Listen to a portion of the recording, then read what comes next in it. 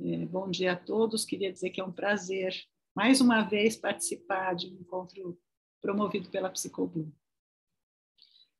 É, esse tema, esse nosso tema, o lugar dos pais nas análises de crianças, é um tema que me pegou desde a graduação, desde o primeiro caso que eu atendi, jovenzinha ainda na graduação, que foi um caso que é, de uma criança que tinha uma mãe muito angustiada, que todas as sessões da criança, ela queria falar comigo antes da sessão, ela queria falar comigo depois da sessão, vocês devem ter esse tipo de experiência na clínica de vocês. Na época, eu tinha uma supervisora lacaniana que recomendava é, que, como a análise era a análise da criança, que, portanto, a gente deveria encaminhar essa mãe para um outro analista. E é, o que me intrigava é que, por mais que eu me esforçasse para é, encaminhar essa mãe, ela sempre retornava com as demandas dela, ela nunca procurou esse colega que a gente combinou que atenderia a mãe, e eu tinha a impressão que ela precisava falar sobre a criança e precisava falar com a analista da criança. E aí, bom, é, é, eu pensava na época, bom, então se a gente, por que que se a gente escuta a criança e considera que a análise é a análise da criança, a gente não poderia escutar os pais, né? A dúvida que eu tinha é se efetivamente escutar os pais produziria alguma interferência negativa na, no trabalho com a criança. É, e mais, quando a gente se propunha a escutar os pais, que tipo de escuta era essa? Né? Isso se tornaria uma análise dos pais? Era disso que se tratava? O que estava em jogo nessa escuta? É, bom, essas perguntas todas mobilizaram em mim é, um desejo de investigar esse tema, que foi o que me levou para o mestrado.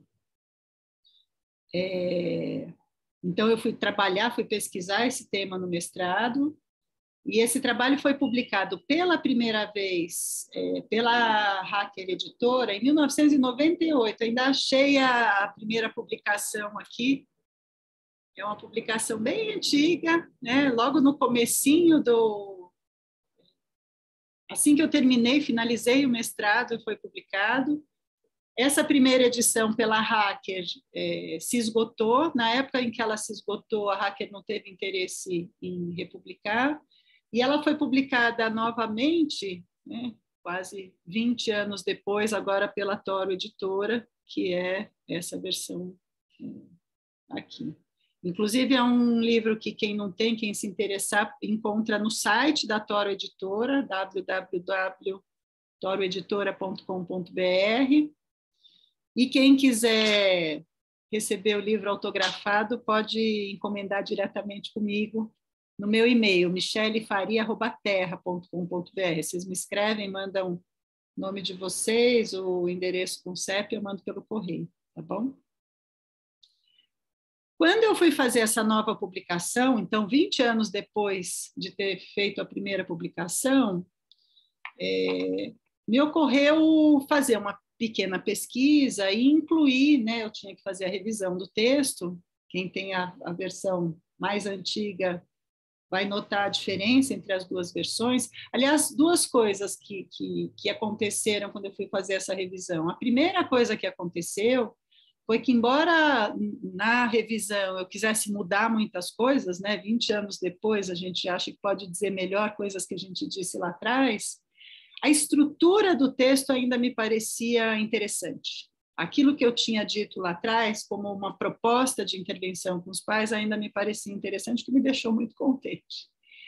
E uma segunda constatação foi que, quando eu fui fazer, então, uma pequena pesquisa para incluir, né, 20 anos depois, os textos, os livros que pudessem ter sido publicados sobre o tema nesse período, na nova edição, eu descobri que quase não tinha nenhuma publicação sobre o assunto. Né? E eu acho que esse é um dado muito importante, eu acho que isso diz muito a respeito das dificuldades que a gente tem no trabalho com os pais. Por quê? Porque o trabalho com os pais ele acaba sendo um tema aparentemente secundário da análise da criança, né? É, se a gente for procurar a quantidade de publicações sobre a clínica com crianças em comparação com a quantidade de publicações sobre o trabalho com os pais, é muito impressionante essa diferença. Então, de fato, o trabalho com os pais é um tema secundário. E, na minha opinião, ele parece um tema secundário, e é por isso que a gente se atrapalha tanto nos casos de crianças, porque a gente acaba considerando é, deixando esse tema de lado é, mais do que a gente deveria, vamos dizer assim. É...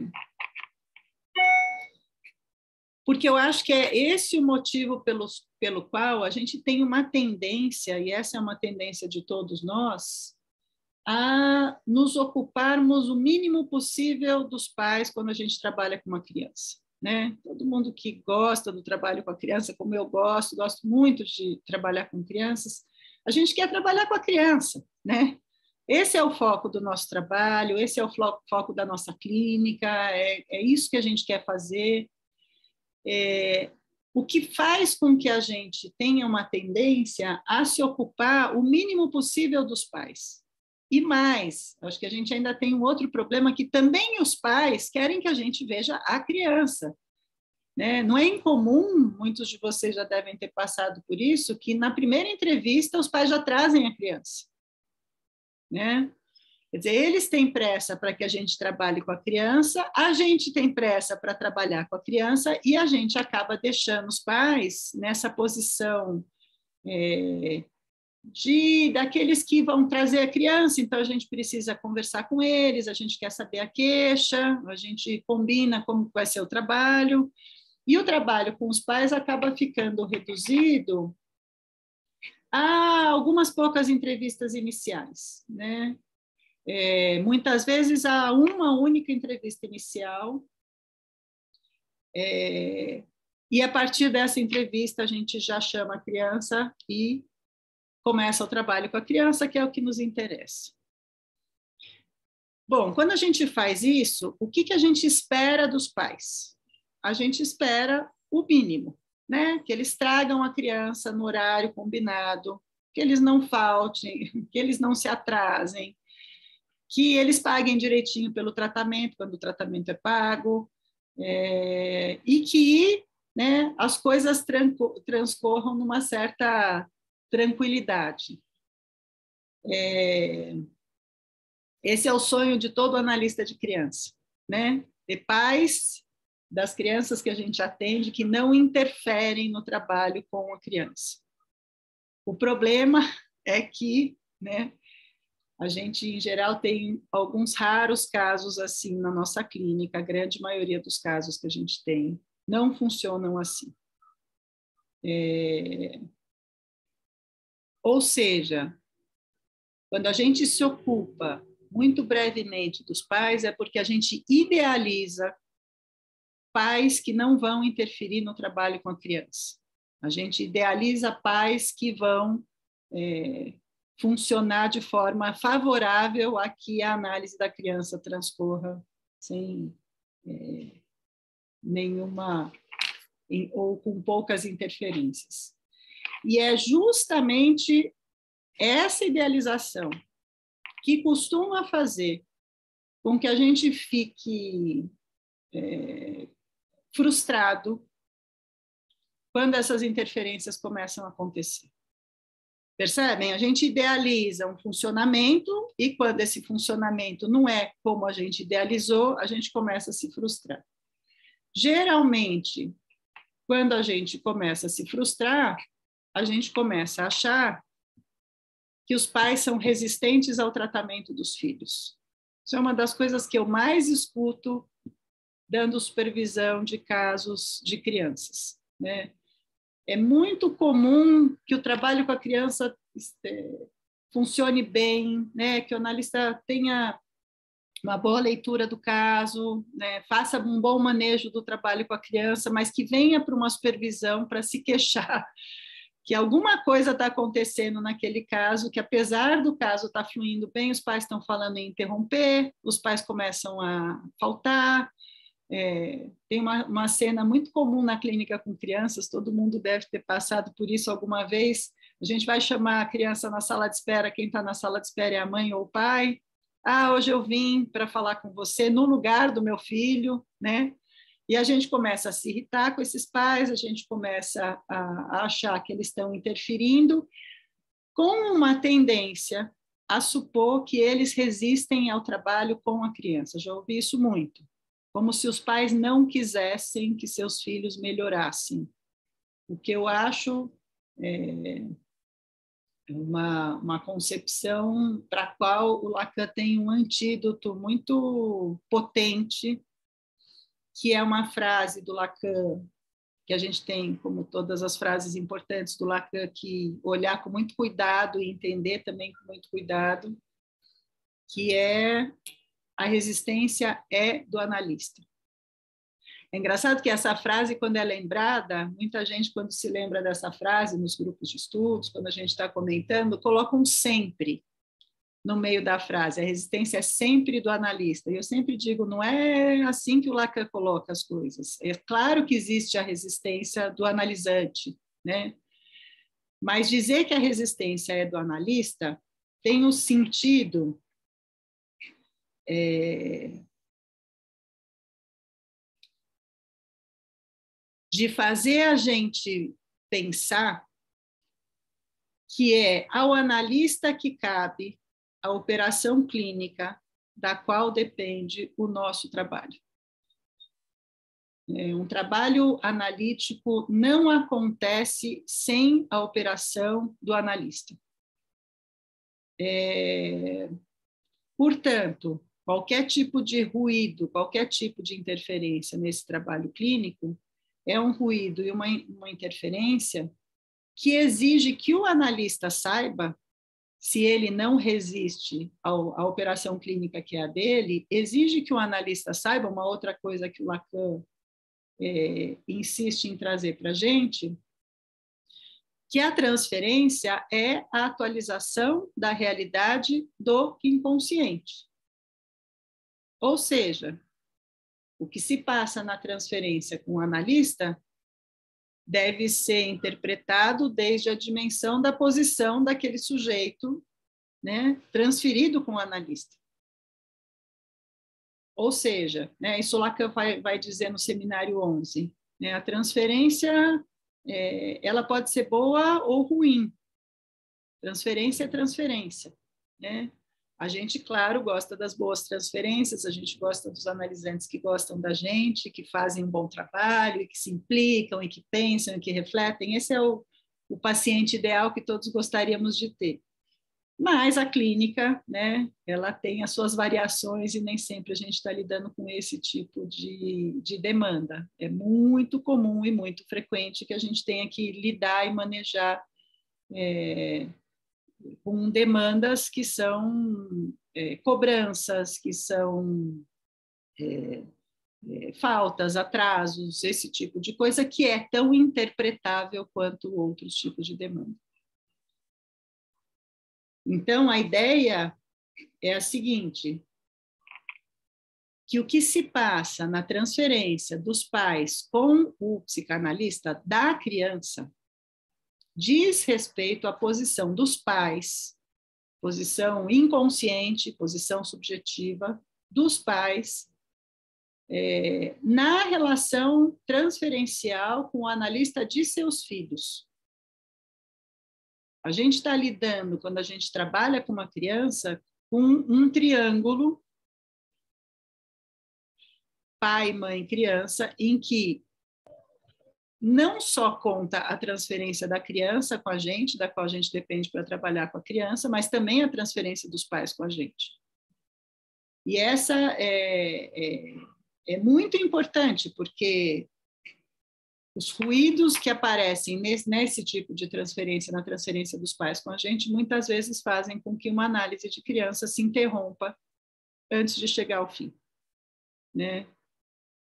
É muito muito difícil a gente conseguir fazer um trabalho com uma criança, o que, que eu estou chamando de trabalho com a criança? Uma análise com começo, meio e fim com uma criança, quando a gente não se ocupa, em alguma medida, desses pais. Inclusive, no final da análise, é... isso é uma coisa importante. Portanto, é deste trabalho com os pais que depende a análise da criança. Isso por um motivo muito simples, né? é, porque são os pais que trazem e a criança é completamente dependente dos pais para que a análise aconteça. E aí a gente tem um, um, problema curioso, que é o que eu tinha na época que eu estava pesquisando isso no meu mestrado, que é o seguinte: é um paradoxo do trabalho com as crianças. E eu acho que é um paradoxo que, traz uma reflexão, especialmente para nós analistas lacanianos. Quanto mais o psicanalista considera que a, análise, que a criança é um sujeito analisável como o adulto, isso está na base da concepção lacaniana do sujeito, né? uma vez que o sujeito não se desenvolve, o sujeito é efeito da inscrição no campo da linguagem, então, a gente não trabalha com uma noção de sujeito em desenvolvimento na clínica lacaniana, o que quer dizer que a noção de sujeito com a qual a gente opera é a mesma, independentemente da idade cronológica daquele sujeito. Quanto mais a gente se ocupa dessa ideia de que, então, o sujeito em questão é a criança, maior a tendência a tentar deixar de fora os pais desse trabalho. É um, uma coisa, é, é um nó que eu tinha que resolver no meu mestrado, porque o que, que eu percebia? Que quem costuma incluir os pais no trabalho, como parte importante do trabalho, por exemplo, a Manoni, não sei se vocês conhecem, é uma autora que, inclusive, tem uma influência importante da teoria lacaniana no trabalho dela. Quanto mais os analistas consideram a importância de trabalhar com os pais, mais a gente vê analistas que é, atribuem, como a Manoni fazia, a, as causas do sintoma da criança aos pais, fazendo uma relação quase determinista entre o sintoma da criança e o funcionamento dos pais. Percebem o paradoxo? A tendência acaba sendo uma tendência quase de culpabilizar os pais pelos sintomas das crianças. Quanto mais grave o caso, maior a tendência que a gente tem a fazer isso. É, é aquela história, né? Quando a gente está começando a, a, a conhecer os pais e a criança, inevitavelmente, nos casos mais graves, a gente tem uma tendência a pensar, puxa, mas também com esses pais, né? Quase como se a gente dissesse, criança também, por isso que ela não está bem, olha os pais que ela tem. Percebem que é um tipo de pensamento que supõe que a criança é produto daquilo que se passa com os pais, de que ela, é, o sintoma da criança a, a, a responsabilidade pelo sintoma da criança seria dos pais. Tem um texto do Lacan muito bom. Ele é um texto bem pequenininho, ele tem uma página e meia, alguns de vocês talvez conheçam, é um texto que se chama Nota sobre a Criança. De fato, ele é uma notinha é, que está publicada nos outros escritos, uma nota de, se não me engano, de 69 em que o Lacan diz uma coisa que, que me ajudou muito a pensar essa articulação, né, e esse paradoxo de é, ou deixar os pais do lado de fora do tratamento, ou de responsabilizar os pais é, pelo sintoma da criança, e inclusive interpretar o sintoma da criança a partir da fala dos pais. Né? A criança está brincando com duas bonecas que brigam, é, uma boneca que, que ela diz que é o pai e a outra que é a mãe, e a gente supõe que a gente deva perguntar para os pais se eles andam brincando, porque aparentemente é isso que está aparecendo na análise da criança. Percebem o tipo de interpretação que se faz? É, muito comum na clínica com crianças e que é, vai um, um tanto na contramão da concepção de sujeito, que é a base do nosso trabalho. Porque se a criança está fazendo essa brincadeira, é a criança que a gente vai se remeter e é com ela que a gente vai investigar o sentido dessa brincadeira, porque o sentido daquilo que vai no inconsciente é o sujeito que vai dar para a gente, não um outro sujeito, ainda que esse outro seja um pai e uma mãe.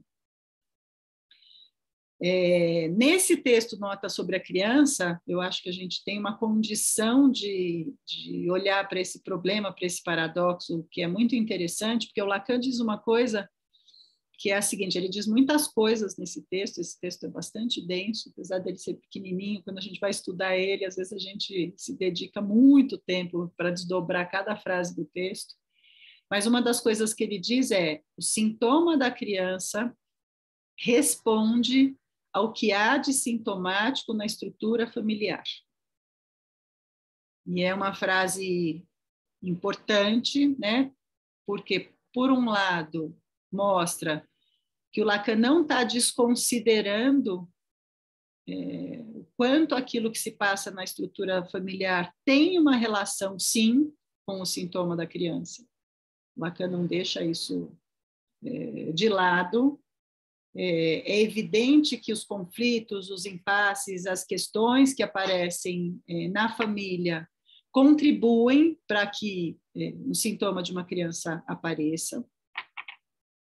No entanto, na frase do Lacan, a gente vê que o sintoma da criança responde ao que há de sintomático, ou seja, o sintoma da criança é a resposta da criança. Entendem? É... Então, não se trata de um determinismo nessa relação entre a estrutura familiar e a posição da criança. Né? Não se trata é, de atribuir ao sintoma da criança alguma causalidade que a gente precisaria buscar no discurso dos pais, que é o, o equívoco mais comum que a gente comete, é, não por acaso, né? Porque eu acho que isso faz parte da nossa própria neurose, achar que os culpados pelo sofrimento estão em outro lugar e não em nós mesmos, né? Que as determinações do nosso sofrimento estão em outro lugar é, e não em nós mesmos.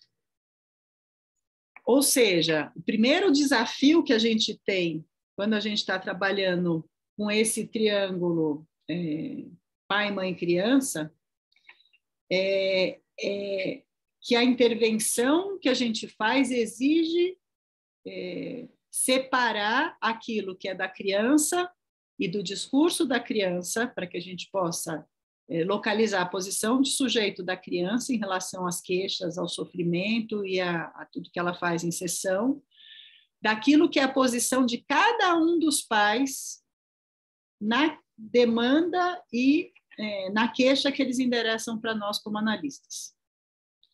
Que foi uma coisa que, nesse meu livro sobre o lugar dos pais, eu, eu tentei distinguir chamando aquilo que é da criança de sintoma da criança, distinguindo o sintoma da criança daquilo que eu chamei de sintoma na criança, que seria o sintoma da forma como ele é nomeado pelos pais, mas é nomeado pelos pais na criança. E essa é uma característica dos trabalhos, tanto das, com as crianças quanto dos adolescentes. Né? Um adulto chega para tratamento, ele mesmo vai se queixar do seu sintoma. Quando uma criança ou um adolescente é trazido para tratamento, é, ele é trazido para tratamento a partir de um sintoma do qual quem se queixa em primeiro lugar são os pais. Foi isso que eu chamei de sintoma da, na criança. Ou seja, a gente tem uma primeira questão de como é que a gente maneja esse sintoma na criança. E o maior risco que a gente corre é de, quando a gente ouve a queixa inicial dos pais e já passa a trabalhar com a criança, sem perceber o que a gente está fazendo, e sem dizer isso explicitamente, mas o que a gente está fazendo é implicitamente prometendo para os pais que a gente vai resolver aquilo de que eles se queixam, percebem? Os pais chegam dizendo: estou aqui porque meu filho tem seis anos de idade e ainda faz xixi na cama. E a gente diz: então traga seu filho. E passa um mês, dois meses, dois meses, três meses de trabalho. O que, que começa a acontecer? Esses pais começam a pressionar a gente, dizendo: olha, não sei o que está acontecendo, mas esse trabalho não está funcionando, porque ele continua fazendo xixi na cama. Por outro lado, a gente começa a ficar aflito, porque nesses meses todos de trabalho, ainda que o trabalho esteja caminhando muito bem, a gente começa a se dar conta que a criança nunca falou sobre esse xixi na cama. E aí qual é a nossa tendência? Começar a pedir para a criança falar sobre isso, achando que a gente tem que atender a demanda dos pais. Percebem como a gente vai se atrapalhando com essa demanda dos pais e como a gente tem uma tendência é, a querer corresponder porque foi essa a promessa que implicitamente a gente fez no início do trabalho, sem perceber. Então, é, esse tipo de pressão que os pais naturalmente vão fazer, porque eles afinal estão trazendo as crianças para que elas melhorem, levam a um ruído no próprio trabalho com as crianças. Se a gente não cuidar disso, se a gente não puder é, dar um bom destino para isso. Bom, então o que, que a gente faz com essas demandas dos pais? O que, que a gente faz com, com a transferência que os pais têm com a gente?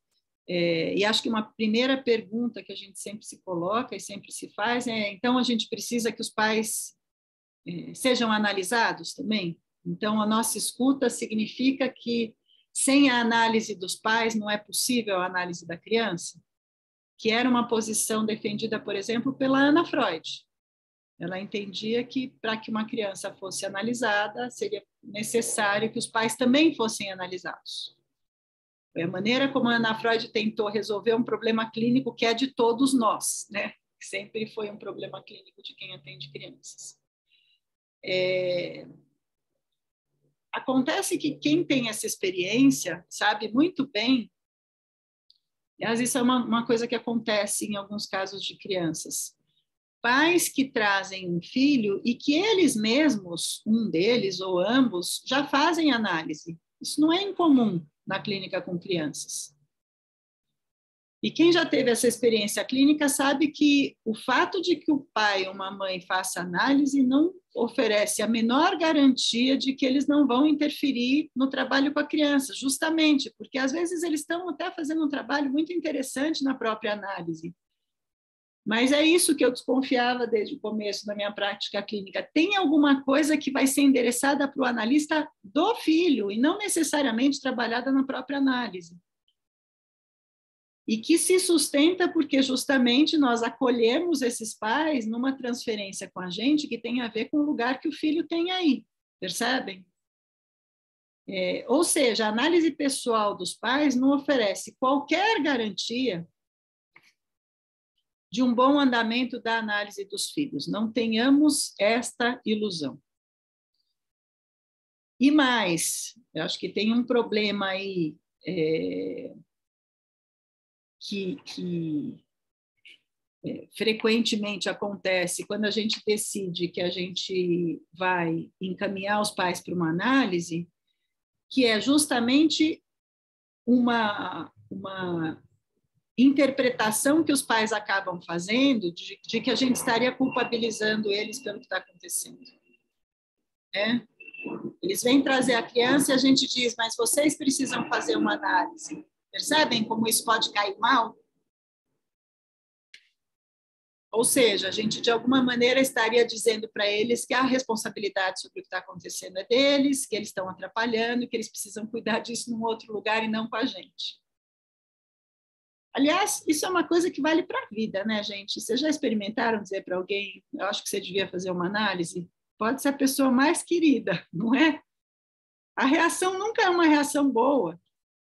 É completamente diferente quando alguém, e isso acontece com os pais, muito frequentemente, quando a gente faz um bom trabalho, quando a gente escuta as demandas dos pais e trabalha as demandas dos pais da forma como a gente deveria, muito frequentemente, eles pedem para nós uma indicação de analista. Completamente diferente, a partir do trabalho. a partir desse, desse manejo dessa demanda. É...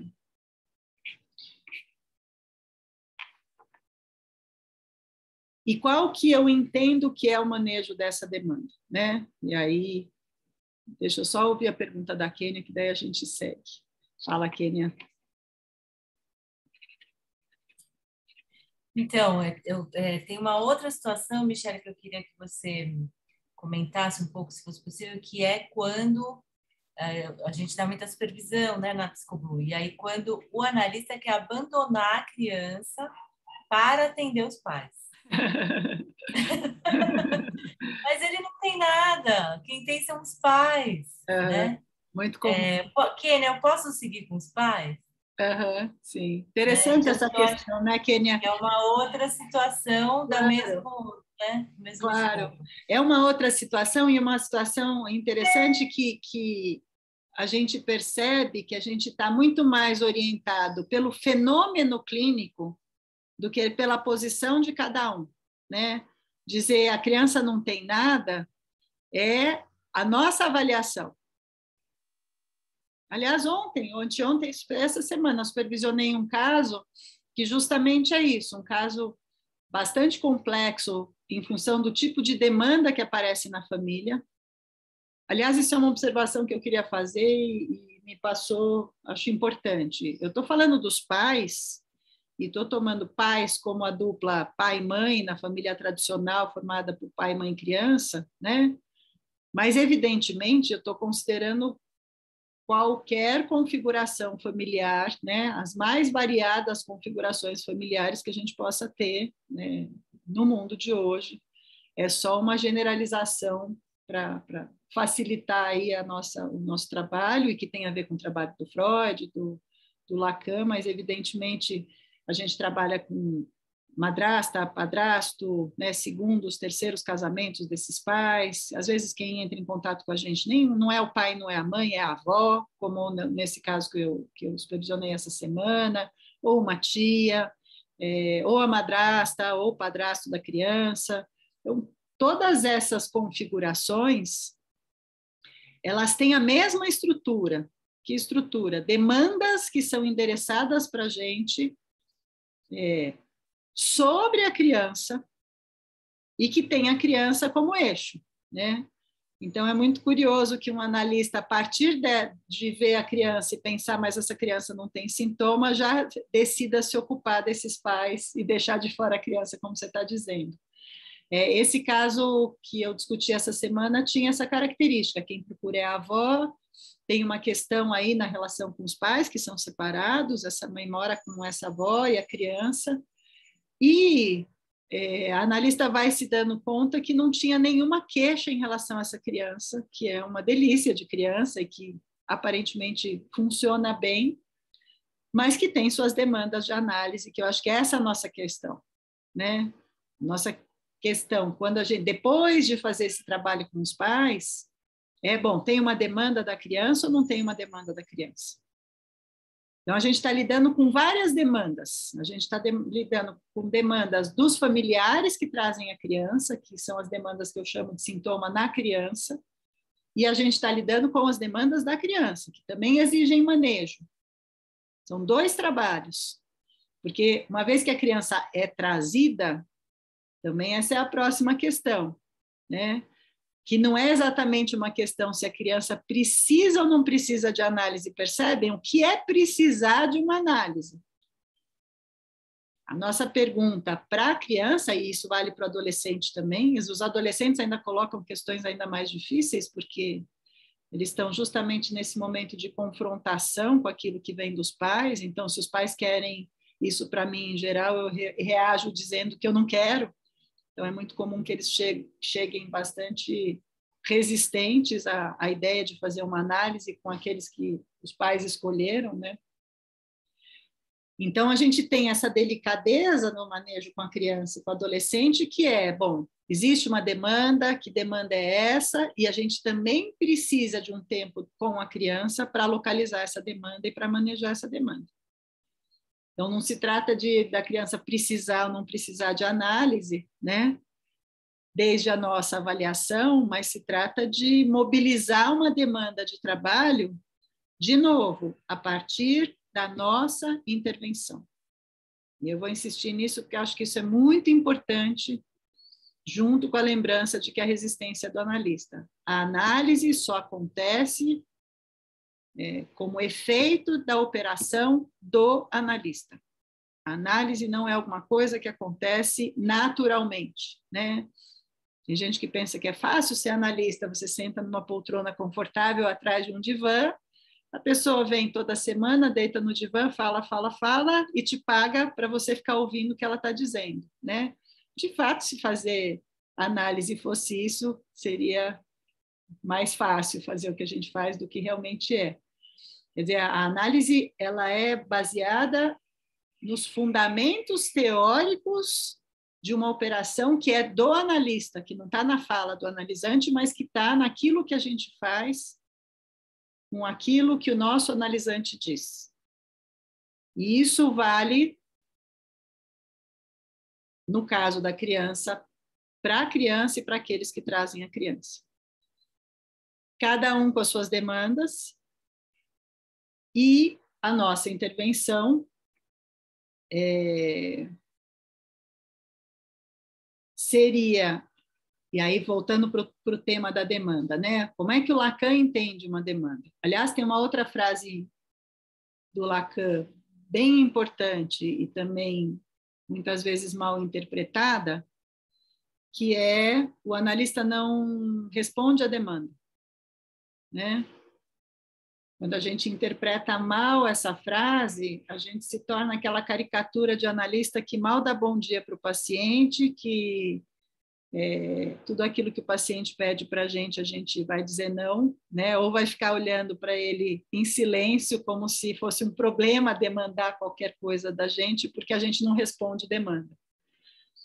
O que, que me parece uma boa interpretação dessa frase do Lacan? Por que é que o analista não responde simplesmente à demanda? Porque para o Lacan, por trás de toda a demanda e articulada a toda a demanda, tem, temos o desejo que é sempre inconsciente e que exige interpretação. Ou seja, o nosso trabalho tem a ver com o sujeito do inconsciente e a nossa intervenção visa o que essas demandas trazem da posição do sujeito que endereça essa demanda para a gente. Entendem? Então, se o analista não responde à demanda, é porque cabe a ele interpretar essas demandas para localizar o desejo inconsciente que sustenta essas demandas que aparecem na transferência. Percebem? É um pouco mais complexo do que não dar bom dia para o seu paciente. É, inclusive, para que a gente possa manejar essas demandas, a melhor estratégia é sempre acolher essas demandas como elas vêm, para que daí a gente possa interpretar, percebem? Então, primeiro a gente acolhe a demanda, depois a gente interpreta. Se a gente já recusa a demanda, a gente não tem condição de interpretar. É, o que, que isso significa no trabalho com a criança e com os pais? Significa, basicamente, devolver para cada um o que é de cada um. Devolver é, é, para cada um dos pais aquilo que está alienado nesse sintoma que eu chamo de sintoma na criança. E para cada um, essa é uma dificuldade enorme que a gente tem também no trabalho com a criança. A gente tem, se já é difícil fazer isso quando a gente tem um único analisante diante da gente, quando a gente tem duas pessoas ali, é duplamente difícil, porque a gente tem que devolver para o pai o que é do pai, devolver para a mãe o que é da mãe, aí o pai diz uma coisa, a mãe retruca, e aí quando a mãe retruca, a gente tem que devolver para ela o que é dela. É uma arte, né, para poucos. Acho que não é por acaso que tantos analistas escolhem não trabalhar com crianças. O que é curioso no meio lacaniano, né, porque essa concepção de sujeito é a mesma, porque que a gente não trabalharia com a criança, é justamente porque o pacote é, da criança envolve essa estrutura, né, em que a gente acaba tendo que manejar essas outras demandas. É, e tendo que manejar essas outras demandas, me parece que a intervenção mais é, analítica, sem que ela signifique a análise dos pais, percebem a diferença? Embora não se trate da análise dos pais, porque nós somos analistas da criança, a gente acolhe as demandas que os pais têm em relação aos filhos para devolver para cada um deles a posição deles, que é a nossa tarefa como analistas. É isso que a gente faz quando a gente escuta. Então, meu filho faz xixi na cama, ao invés da gente responder, tá bom, traz o seu filho aqui, que eu vou ver o que eu posso fazer. Tem uma pergunta que é a pergunta que, em geral, não nos ocorre fazer, né? como todas as perguntas que, que precisam ser feitas por nós ela é a que a gente menos lembra de fazer. Eu sempre brinco é, com quem atende crianças que deve tatuar no braço essa pergunta, porque a gente vai sempre esquecer de fazer essa pergunta.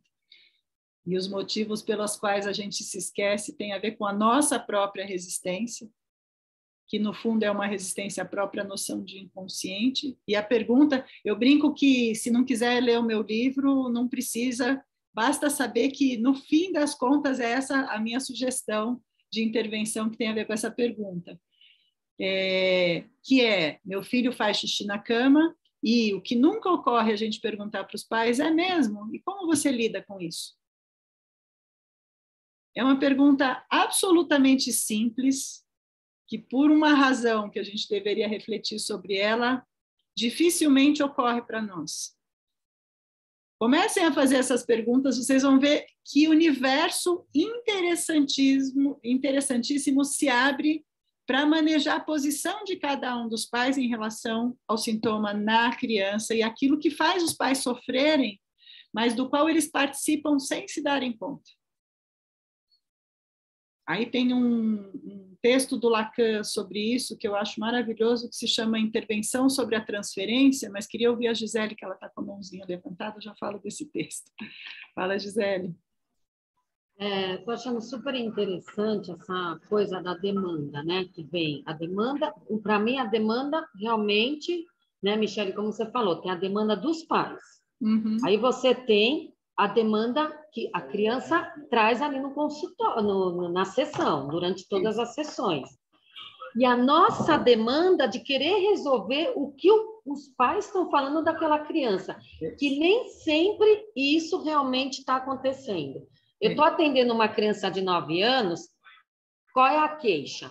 A criança ela não tolera frustração, ela tem 9 anos, ela não tolera, não tolera perder jogo, não tolera brincar de uma coisa assim, tem que ser aquela brincadeira que realmente ela quer.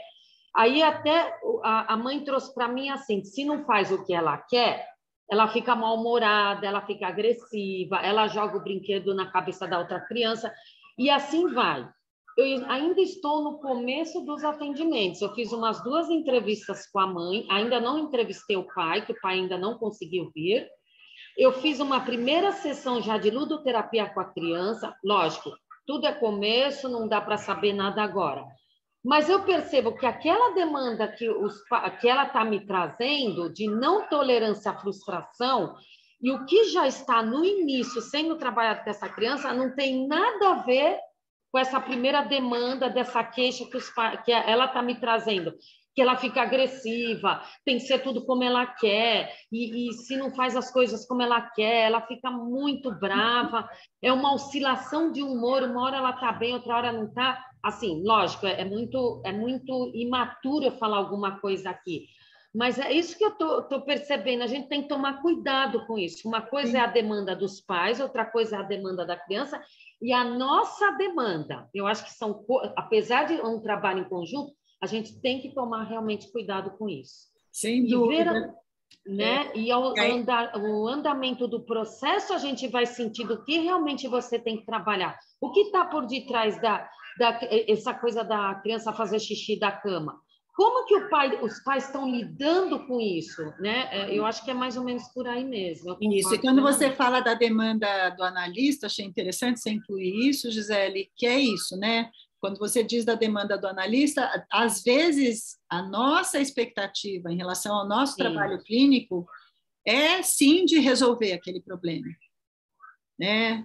É isso que você chamou de demanda do analista. É o nosso desejo Sim. de dar conta dos sintomas, que evidentemente, Sim. não vamos negar isso, todo mundo quer. Gente, a gente faz Sim. o que faz para que as pessoas sofram menos, para que a vida fique né, menos difícil. É, e os sintomas são um problema que a gente ajuda a, a, a resolver, vamos dizer assim. E aí esse é um outro nó e um outro desafio da nossa prática clínica, porque isso é uma coisa que o Lacan trabalha no seminário 7 inteirinho, não sei se vocês conhecem o seminário 7, que é o seminário sobre a ética.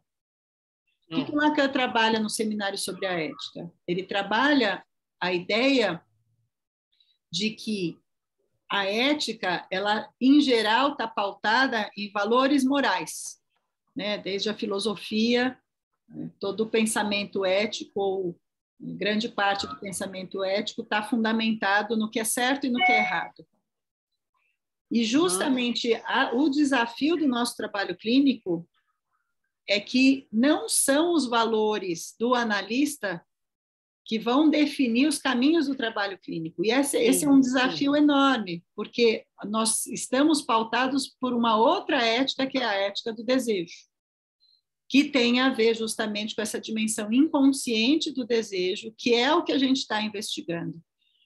Então, de uma certa maneira, isso é uma coisa interessante e importante que acontece na clínica de maneira geral, na clínica psicanalítica, evidentemente que no final de uma análise, o que a gente tem, como o próprio Lacan comenta no seminário 7, tem um ganho em termos de se livrar dos sintomas e de menos sofrimento? Evidentemente que tem, mas o, o, o, paradoxo e o desafio é que esse ganho não é obtido diretamente visando essas modificações.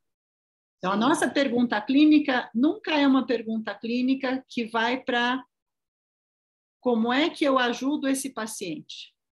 A pergunta de como é que eu ajudo esse paciente é a pergunta do psicoterapeuta. A nossa pergunta é por que, que ele faz como ele faz? E onde estão as determinações inconscientes daquilo que o analisante faz? Seja a criança, sejam os pais. Então, é isso, você está lidando com uma situação clínica aqui em que os pais estão presentes, a criança está presente, os pais têm. Esse tipo de situação clínica, né, Gisele? Quanto mais é, é, diferente a demanda dos pais é da demanda da criança, menos difícil é para a gente, porque daí a gente, que sabe que cada trabalho é um trabalho, consegue separar os discursos. O maior desafio é quando os discursos conversam, a gente tem muito mais dificuldade para devolver para cada um que é de cada um, que é a nossa tarefa. E aí, voltando para o texto Intervenção sobre a Transferência, o texto Intervenção sobre a Transferência é um texto do Lacan, muito bom, que está nos escritos, que é um texto que eu recomendo que vocês leiam e é um dos textos que eu considero os menos difíceis de ler nos escritos. Os textos dos escritos são difíceis, né? O Lacan tem um estilo difícil, mas esse me parece um dos textos mais é, leves e mais acessíveis para que a gente enverede aí pra, pelos temas lacanianos. O que, que o Lacan propõe em intervenção sobre a transferência? Nesse texto, ele retoma o caso Dora, do Freud, é, para mostrar é, uma coisa importante, que é o, o que ele chama de giros dialéticos promovidos pelo Freud a partir das queixas da Dora. Então, a Dora faz uma queixa e o Lacan resume a operação freudiana, a operação clínica freudiana, de uma maneira que não é uma afirmação do Freud, é como Lacan resume isso, é, numa pergunta que é bastante conhecida nossa e a gente pensa que a pergunta é do Freud. Não, é, é a forma como Lacan interpreta o trabalho freudiano nesse caso. A pergunta é qual é a sua participação nisso de que você se queixa. Esse é o trabalho do analista, né? É... é, é esse o sentido dessa, dessa ideia de que a gente devo, deveria é, devolver para cada um a, a, aquilo que é de cada um, no sentido da posição subjetiva de cada um. Nesse sentido, não se trata da análise dos pais, e também não se trata de culpabilizar os pais pelo sintoma dos filhos, percebem? Não se trata de supor que o sintoma do filho está sendo determinado desde a, a posição dos pais. É, se trata de investigar, a partir da queixa dos pais, aquilo que eles mesmos desconhecem, que é a posição que eles têm ali. Por isso que é muito interessante fazer essa pergunta de Bom, é, como você lida com isso? Porque como você lida com isso, é, a resposta é reveladora da posição que cada um deles tem ali. E o efeito dessa pergunta também é um efeito muito interessante. Porque sem essa pergunta, eles estão demandando que a gente resolva e tão, tenham uma expectativa de que a gente resolva. Com essa pergunta, a gente volta para eles uma reflexão de, nossa, né? Não tinha me dado conta que toda vez que meu filho diz isso, a minha reação é essa. E isso ajuda, de alguma maneira, né, a, a manter o trabalho com os pais e a transferência dos pais com a gente, de forma que a gente consiga caminhar nesse trabalho sem a pressão que os pais costumam fazer sobre nós para que a criança melhore, entendem? eles mesmos acabam entendendo melhor o trabalho que a gente faz a partir desse tipo de intervenção. Que eu vou insistir nisso, não é análise dos pais. Inclusive, muitas vezes, a partir desse tipo de intervenção, o efeito é que algum deles, ou às vezes os dois, digam: nossa, mas né? Tenho pensado tanta coisa a partir da conversa aqui com você. Você tem uma indicação de analista para me dar? Né? Gostaria de fazer uma análise, pensar um pouco melhor essas questões. Isso pode ser um efeito, um efeito, aliás, muito bem-vindo desse manejo. Mas percebem, é um produto desse manejo. E aí isso é, tem. É, e, e mesmo que eles peçam uma análise, a gente encaminhe para uma análise, isso não quer dizer que isso não vai retornar sob a forma de demandas endereçadas para nós. Né? Essas demandas aparecem e elas muitas vezes insistem e retornam e exigem esse manejo né, da nossa parte. Fala, Kênia. Michele, é, isso me fez lembrar da questão de como é importante a gente é, se ocupar dos pais nas entrevistas preliminares. Isso. Né? Um exemplo que eu sempre dou é um exemplo seu, inclusive, quando você veio nos falar na Psicoblue, quando era presencial, e você tinha um caso, não sei se você vai, você deve, claro, você vai se lembrar, que você teve que fazer diversos, nenhum dos pais queria se ocupar do pagamento. Um queria se ocupar do pagamento, mas o pai queria que a mãe se ocupasse minimamente do pagamento, porque parece que o pai tinha uma condição muito melhor que a mãe, né? Mas isso não se decidia entre os dois. E você fez, realizou diversas entrevistas até que bom, agora está decidido quem vai se ocupar dessa criança no, no, na análise.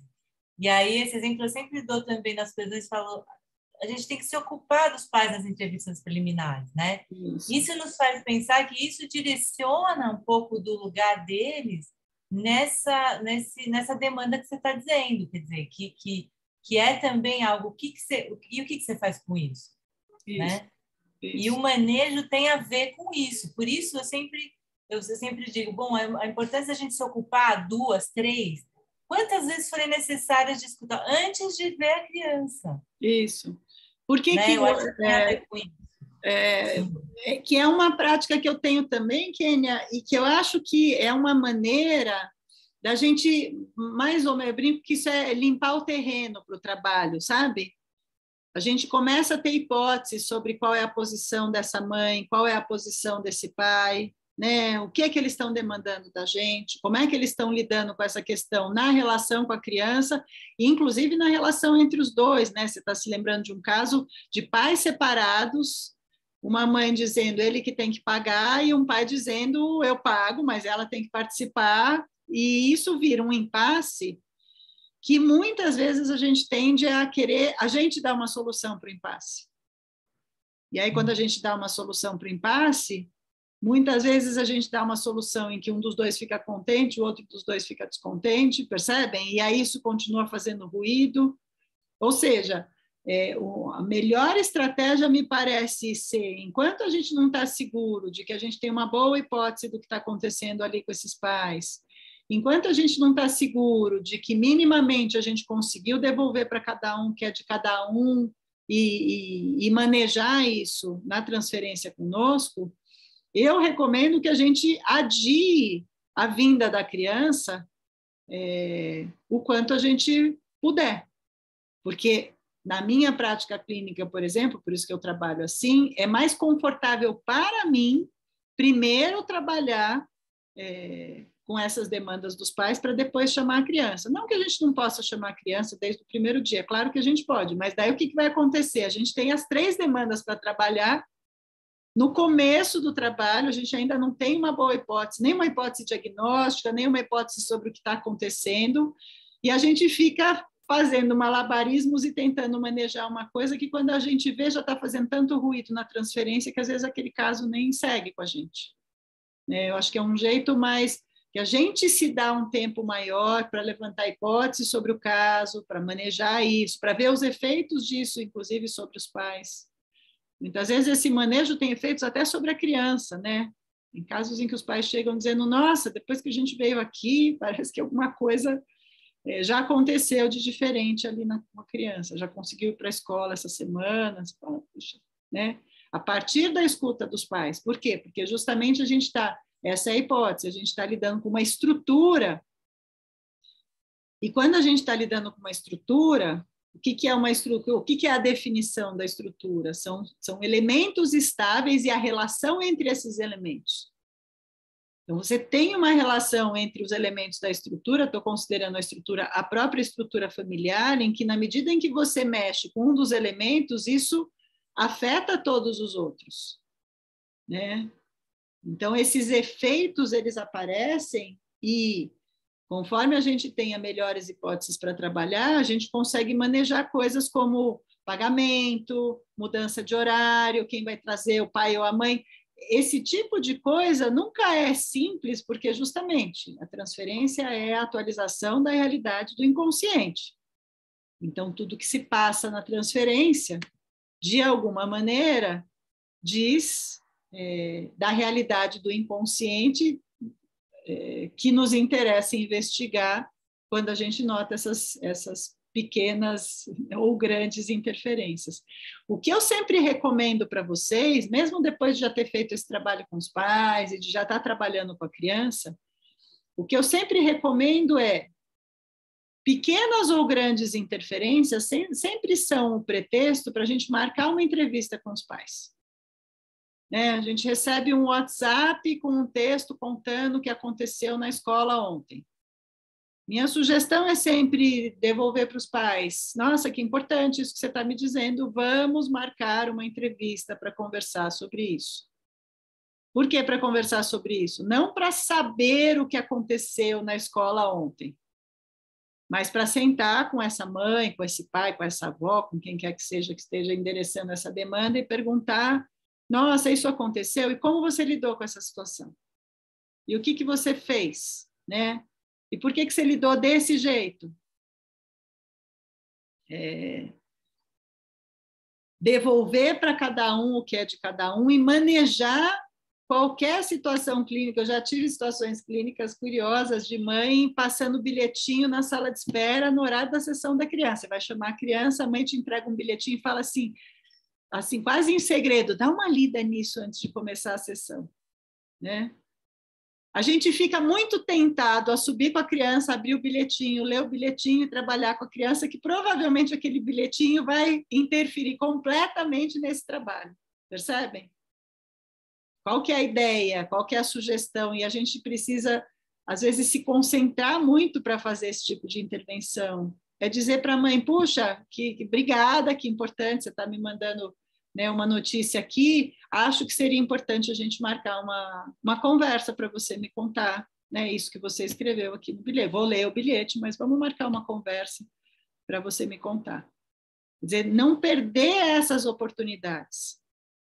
E aí entra aquela história de que, na verdade, a gente quer trabalhar com a criança. A gente pega o bilhetinho, abre, lê, guarda o bilhetinho e desconsidera. Entendem qual é a nossa tendência natural? A gente quer ver a criança, a gente se irrita com o bilhetinho, né? Estou é, me lembrando de um caso que eu supervisionei durante algum tempo, que era uma mãe que, na, no começo da sessão com a criança, sempre chegava dizendo para a analista o que, que ela deveria fazer naquela sessão. A analista. Né? A analista foi se irritando com essa mãe e essa irritação é sinal de que a gente não está fazendo o trabalho que a gente deveria fazer. Se essa mãe faz isso todo início de sessão, o nosso trabalho é dizer: é mesmo, você gostaria que eu fizesse isso, isso, isso, e trabalhasse essas coisas? Vamos marcar uma conversa para você me dizer por quê? Por que, que você acha que isso é importante? Por que, que você acha que isso tem que ser trabalhado? Né? Quer dizer, como uma, uma maneira de devolver para esta mãe o que é desta mãe, localizar né, é, aquilo que se passa na transferência com a gente a partir de uma queixa, de uma, né, de uma ordem é, dada pela mãe no começo do trabalho. E a ideia é essa, nossa, nossa pergunta é sempre, por que será que essa mãe está me dizendo isso? Por que será que nós, esse, esses pais estão fazendo desse jeito? Né? Quando a gente atende crianças, às, às vezes a gente tem uma tentação de achar que é tão óbvio que eles deveriam fazer de outro jeito, que quando a gente vê, a gente está dizendo para eles fazerem de outro jeito, ao invés de buscar entender por que é que eles fazem do jeito que eles fazem. Uma coisa que eu tenho para mim na clínica de maneira geral, não só na clínica com crianças, mas na clínica de maneira geral, eu sempre acho que cada um faz o melhor que pode com os recursos que tem. É, ninguém gosta de sofrer, ninguém quer sofrer, é, nem o masoquista gosta de sofrer. O masoquismo é uma estrutura particular dentro da perversão que é muito mais ampla do que gostar de sofrer. Não é isso que é o masoquismo.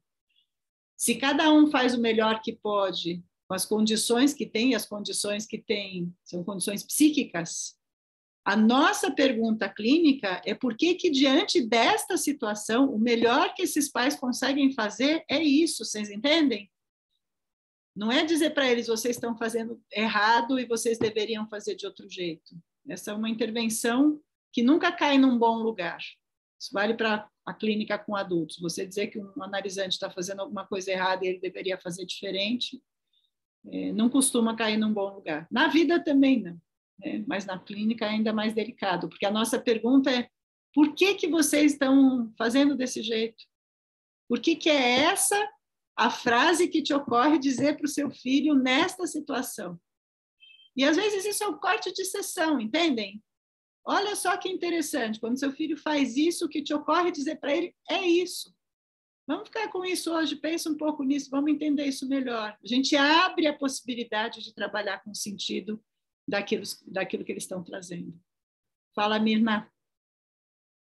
Oi, Michele, tudo bem? Oh. É que me ocorreu aqui isso de fazer essa pergunta. Como lidar, como que vocês lidam com isso? Me parece que você acaba implicando também os pais no tratamento do filho dele, né? Sim. Porque, e acho que cai por terra também deles pensarem assim, o analista que vai dar um jeito no meu filho, né? Ele, é, tá tudo na mão do analista, eles que vão... E não, né? Você, você fazendo essa pergunta, não sei, né? Dá um... Acho que ele começa a pensar assim, nossa, eu também sou responsável por isso daqui, eu também, né? Enfim, acho que... Que é o próprio trabalho clínico do analista, né, Mirna? Se a gente for pensar, isso também acontece com os adultos que nos procuram por vontade própria e que, quando chegam para análise, vêm para dizer: eu estou aqui porque eu não aguento a minha mulher. Na verdade, o problema é ela, não sou eu. Não é assim? Estou uhum. aqui porque o meu chefe me cobra demais, eu estou a ponto de ter um burnout. E a gente não está desconsiderando que tem uma esposa, que tem um chefe, que tem a realidade. Mas o nosso trabalho clínico não é um trabalho clínico que se pretende intervir na realidade. Nosso trabalho clínico uhum. é um trabalho clínico com a dimensão inconsciente que envolve a posição de um sujeito. E aí você está uhum. chamando isso de implicação, né? Quer dizer, qual é a sua participação nisso de que você se queixa? Que é a pergunta freudiana para Dora, por mais que a situação de vida da Dora fosse né, bastante complicada. A gente tem vontade de fazer uma intervenção e, e, concordar com a Dora e dizer: vamos parar com essa bagunça aqui. De fato, olha o que o pai faz, olha a situação que a Dora está metida. Mas conforme o Freud vai trabalhando isso com a Dora, ele vai vendo que ela é, participa dessa situação sem perceber ela desconhece a posição que ela mesma tem na situação. Está uhum. Tá chamando isso de implicação, é uma forma de, de, de, de é, tratar justamente daquilo que diz respeito à posição de cada sujeito no seu sofrimento. O interessante, que... o importante é os é. efeitos que isso produz na clínica. E também acho que gera também a confiança, né? Acho que quando você traz esses pais para mais perto de você, é, acho que a possibilidade deles darem andamento a esse tratamento é muito maior do que vocês deix deixar ele meio que fora disso, né? Não, é aqui, eu é a criança e... É clínico isso, Mirna. É, a gente faz isso sustentado, ao meu ver, na teoria. Isso tem a ver com, com o que acontece na clínica. Né? Por isso que o Lacan insiste muito, muito, muito, desde o início do ensino dele, e em quase todos os textos dele, ele insiste nisso, é, da necessidade da gente pensar os fundamentos teóricos da nossa operação clínica. Uhum, uhum. É teórico. Aquilo que a gente faz, saibamos ou não, sempre está fundamentado numa concepção que a gente tem do que é análise, do que é o sujeito, do que é uma criança, do que são os pais.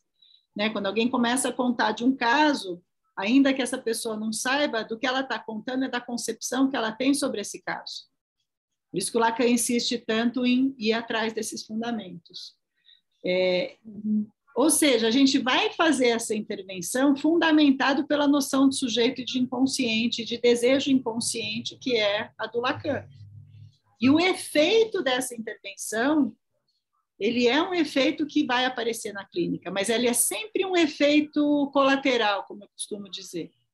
Os efeitos que a gente, por isso que é tão difícil ser analista, porque a gente não visa efeitos diretos como o psicoterapeuta que dá um conselho, dá uma sugestão, diz, olha, a criança não pode dormir na mesma cama que vocês, e espera um resultado a partir daquela, daquela orientação, por exemplo. Uhum. Obrigada, Michelle. Tá, tem, ah.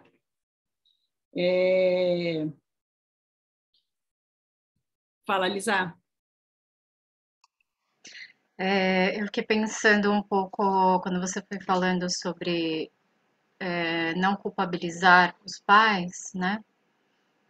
É, bom, no geral, né? Eu acho que a, isso, isso pode acontecer muitas vezes eu sinto isso acontecendo, né? Tô, tô pensando assim na minha clínica, é de que quando você faz esse questionamento, né? De, bom, por, por que será que você faz dessa forma? Ou é, como que você lida com isso, né? Enfim, que o próprio paciente, é, o paciente, né? Bom, no caso os pais, mas às vezes outros pacientes acabam se culpabilizando, né? Sim. Ai, eu sei errado, ai, não, você tá certa, né?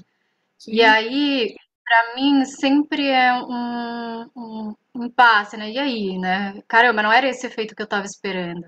Isso. E agora, né? O que eu faço? Porque vai justamente na contramão daquilo que a, que a gente busca. Porque, né? Porque é isso, né? Se o, se o culpado não é o outro, então sou eu. Que é uma outra dimensão do mesmo problema da culpa, e que é um tema Sim. da neurose, né? Hum. É, e é um desafio grande mesmo, e isso aparece muito, né, Lisa, na, na transferência dos pais e no trabalho dos pais, que é, é, muitas vezes eles já vêm culpados, e muitas vezes eles já vêm achando que a culpa por aquilo que se passa com a criança é deles. E isso é tão interpretável quanto qualquer outra coisa, né? É, também, de novo, num caso que eu, que eu supervisionei semana passada, a analista fez uma boa intervenção com a mãe, é, que tinha tomado uma certa atitude com a criança. É, uma cena em que a analista pergunta: Bom, a criança fez isso e como você reagiu? A mãe diz alguma coisa para essa criança, e a partir disso que ela diz, ela se dá conta que foi aí que a criança mudou. Imediatamente a mãe diz: Nossa, então a culpa é minha. Que é isso que você está trazendo. Bom, acabei de me dar conta que tudo começou quando eu disse isso para o meu filho. Percebe o, o nó? O que, que eu sugeri para essa analista? Seguir o trabalho. Como assim a culpa é sua? Porque você disse isso e ele reagiu desse jeito? Será que isso quer dizer que você é a culpada? Vamos entender melhor por que, que o que te ocorreu dizer foi isso? Entende? Seguir com o trabalho, inclusive interpretando essa ideia de que a culpa é da mãe. Eu já tive uma mãe, uma mãe em atendimento por um bom tempo, um bom tempo, quero dizer alguns meses, é, que chegou dizendo dos sintomas do filho e dizendo: Eu tenho certeza que meu filho tem esses sintomas porque eu estou fazendo alguma coisa errada. Então, eu estou aqui para você me dizer o que é que eu estou fazendo errado, porque se você me disser, eu vou fazer certo, e se eu fizer certo. Percebem a idealização também? Percebem a onipotência dessa mãe? A culpa, em geral, do ponto de vista do inconsciente, ela está ligada a uma certa onipotência, né? Se eu me sinto culpado, é porque eu suponho que eu teria a condição de fazer diferente e fazendo diferente, tudo daria certo. Se eu não tivesse dito aquela frase, meu filho não teria os sintomas que, que tem. É uma linha tênue, né, Lisa, entre a culpabilização e aquilo que a Mirna chamou de implicação, né? que é um termo que, em geral, a gente prefere, porque ele é, é, é, mais leve, ele traz. Sim, tem uma relação entre isso que você disse e o desencadeamento dos sintomas, mas isso não quer dizer que você é culpada, isso quer dizer que. Se tem uma relação, vamos entender melhor por que, que você disse o que disse. Porque a culpa também fecha o sentido do inconsciente. Ao invés de eu me perguntar por que, que eu disse isso, eu me sinto culpada e, às vezes, isso deprime uma mãe, por exemplo. Né? Então, o nosso trabalho é sempre esse trabalho de abrir sentido, de reenviar o sentido. Como assim culpada? Como é que você entende isso? Né? É muito comum, isso a gente é, ouve de pais quando a gente conversa com eles, que contam as histórias deles enquanto filhos, é muito comum que eles leiam que aquilo que se passa com eles tem a ver com é, alguma coisa que eles tentam fazer diferente em função daquilo que os pais fizeram com eles. Então, tem aí uma culpabilização que é: meus pais são culpados pelo meu sofrimento, logo, eu posso ser culpada pelo sofrimento dos meus filhos. Fala, Rosa. Espera aí que você está sem som. Estou aqui brigando com essa mãozinha que ela faz. Eu vejo ela aparecer, ela some o controle. Ela, é, ela, ela, ela, não está fix, ela tá fixando. ela está em dúvida, Eu estava pensando nessa questão da... Bom, eu pensei um monte de coisa já aqui, né? Mas já pensei, é. já eu pensei, você respondeu, tudo bem. Mas a, a, a, questão da culpa, assim, da, da, da família, né, da mãe, por exemplo, que é a, a, que mais está em contato ali na, na clínica sempre, os pais ficam de fora, não entendo por que, que a gente faz isso com eles, né? Uhum. Temos que, acho que, tomar um pouco mais de cuidado com a, com a presença do pai ali. Mas a mãe, acho que o cuidado, porque às vezes eu percebo que o analista, ele alimenta essa culpa né? Uhum. Assim, a, a, a mãe fala, ah, foi minha culpa e a nossa tendência às vezes é... é pensar, foi mesmo. É, pensar, isso não só pensar, como, como acreditar nisso. reforçar, né? Reforçar. Então, isso. por que que você fez isso? E aí vem a, a, pergunta errada, né? Assim, de que E isso é uma Porque coisa você que fez isso quase como uma bronca, né, Rosa? quase como uma bronca, É, exato. é, Então é aí é um- entra o nosso desejo de mudar esses pais, aí entra a nossa expectativa de que eles façam diferente, mas é perfeito, assim. é, por isso que é a concepção de sujeito que orienta a nossa prática que faz com que a gente avance nessa frase. Então, a culpa é minha. Se a gente não faz nada com essa frase, é porque a gente acredita que a culpa é da mãe. E aí a nossa operação clínica é como assim a culpa é sua? O que, que você está chamando de culpa? Mas você trouxe um outro ponto que eu acho interessante comentar, que é verdadeiro isso, de muitas vezes quem procura por nós é a mãe, né? A gente vive numa cultura em que as mães se responsabilizam ainda muito pelo que se passa com os filhos, que muito frequentemente é a mãe que procura a gente. Muitas vezes a mãe procura a gente dizendo: Eu prefiro que você nem converse com o pai, ele não tem tempo, ele nem acha que, que uma análise vai ajudar. Às vezes as mães chegam dizendo: o pai é contra, então eu prefiro que você não fale com ele.